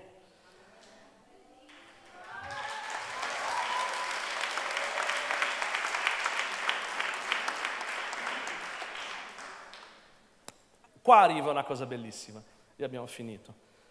Io dissi ai notabili ai magistrati e al resto del popolo, del popolo, l'opera è grande e estesa. Ecco l'Italia davanti a noi, perché adesso usciamo un po' da Milano, usciamo dalla città, l'opera è grande e distesa e noi siamo sparsi sulle mura e distanti l'uno dall'altro. Tu nella tua zona, l'altro nella sua zona, l'altro qua, l'altro a Brescia, l'altro a Torino, l'altro a Roma, l'altro in Reggio Calabria, l'altro là in Campinas, l'altro in Goiânia, l'altro a Seviglia, l'altro in Svizzera e continuiamo a salire, l'altro in Inghilterra, fra poco l'altro negli Stati Uniti, nelle Hawaii sarò io, grazie a Dio, e poi l'altro e continua così, perché ho la mia chiamata, lo so perché l'ho presa io anni fa, la chiesa di Pipeline è mia. Dovunque udrete il suono della tromba, là radunatevi con noi. Il nostro Dio combatterà per noi. Allora, cos'è che succede? Noi dobbiamo imparare a vederci come una cosa sola. Perché il, anche i ministeri, c'è il ministero, c'è Holy Cleaning, c'è Skids, c'è Use, c'è Sounds, c'è S139, c'è Danza come Preghiera, c'è Ministero eh, eh, Missione Possibile, Ministero del, del Sociale Sabaoth, c'è, eh, non, non, so se non manco, sono 40, Pastef è brava nei numeri, tanti, perché io siccome sono pessimo nei numeri, ogni tanto sbaglio, dico, non so, Sansone ha ucciso 1500, sono 600, no? Sono sempre tanti, però il pastore mi ha detto non dire i numeri se tu non ti ricordi mai i numeri, dici tanti. Così nessuno ti può dire niente, tanti, quindi sono tanti ministeri abbiamo, no? Non lo so a memoria, non so tutto, grazie a Dio. Allora, questi ministeri cominciano ognuno nel suo a lavorare, ogni zona, ogni capozona, ogni cellula comincia a lavorare nel proprio, quindi siamo sparsi nelle mura della città. Siamo, sembriamo un branco di, di, di, non uniti, perché uno di qua, ognuno pensa al proprio, ogni tanto sembra, ah qua ognuno pensa al proprio, sì, finché non, non arriva il capo, Nemia, nel nostro caso è bionda, e dice il muro è lungo, la visione è grande e noi sembriamo che siamo sparsi, ma dovunque io suonerò la tromba, vuol dire il nemico mi sta attaccando qua, allora io suonerò la tromba e lì dove avrò suonato la tromba, radunatevi tutti con tutto l'esercito, il Signore vede che lui non dice e vinceremo noi la guerra, no, radunatevi a me e non fate nulla perché il Signore a quel punto combatterà per noi. Allora abbiamo appena ricevuto una mail dicendo che dal 9 aprile il pastore Rosa ha sentito nel cuore, parte un digiuno nazionale. Allora lei sta suonando la tromba, la guerra nostra qual è? Pregare per i ministri in Italia, non solo i nostri, pregare per i ministri in Italia, di qualsiasi, sia, di qualsiasi chiesa sia, pregare per il Vangelo in Italia, pregare per le nostre chiese, proteggere. La tromba è suonata, allora quello là in fondo, là in Canicati, uno si alza e fa, ma io non vengo. O se no, chi mi ha detto di pregare? Chi mi ha detto di fare questo? Chi mi ha detto la tromba quando suona, il popolo si deve radunare. Quando il pastore dà una visione, chiama un digiuno, chiama una visione o comincia a predicare un determinato argomento qua, noi, coloro che gestiscono le cellule, coloro che sono i capizona, coloro che sono i mentori, i discepoli, noi dobbiamo dire la tromba è suonata in quella direzione, ci raduniamo lì tutti quanti insieme, coesi, con lo stesso pensiero e allora sì, il nostro Dio combatterà per noi. Perché a Dio piace quando noi facciamo così. Molte volte noi pensiamo, se ci uniamo, facciamo forza e vinciamo, ma quello sarebbe un principio sbagliato. L'unione fa la forza, no. L'unione chiama la presenza di Dio e Dio è forte. E Dio con la sua forza vince le nostre battaglie. Così Nemia 4, 21. Così continuavamo i lavori, quello che noi stiamo facendo, così andiamo avanti. Mentre la metà impugnava la lancia, dallo spuntare del giorno all'apparire delle stelle. Allo stesso tempo, io dissi al popolo, ciascuno di voi con i suoi servi passi la notte a Gerusalemme per fare la guardia con noi durante la notte e riprendere il lavoro durante il giorno. Nella notte la notte nella Bibbia, quando parla di notte, parla anche di periodi strani, periodi bui, periodi freddi, periodi che non vediamo molto dove stiamo andando. Quindi fai la guardia, fai la guardia durante la notte, non abbassare le armi. Nella notte è ora di prendere guardia, di prendere la lancia e la spada in mano e stare attenti. Non è ora di dormire di notte. Nella notte qua parla proprio di periodi. Pietro ha cominciato a piangere amaramente quando? Di notte la Bibbia dice il pianto può avvenire la notte, ma al mattino ci sarà. Esatto, la gioia. Allora, dato che la Bibbia dice così, non potresti mai essere tristi per più di 12 ore. Ma la notte non parla di una notte fisica, parla di un periodo. Ci può essere nella tua vita un periodo buio, ma se tu rimani fermo, vigile, prendi in mano la spada, cos'è la spada? La parola prendi in mano la tua lancia, vigila tutta la notte, la notte passerà, arriverà il giorno e riprenderà il tuo lavoro. Amen? Quindi abbiamo finito, grazie.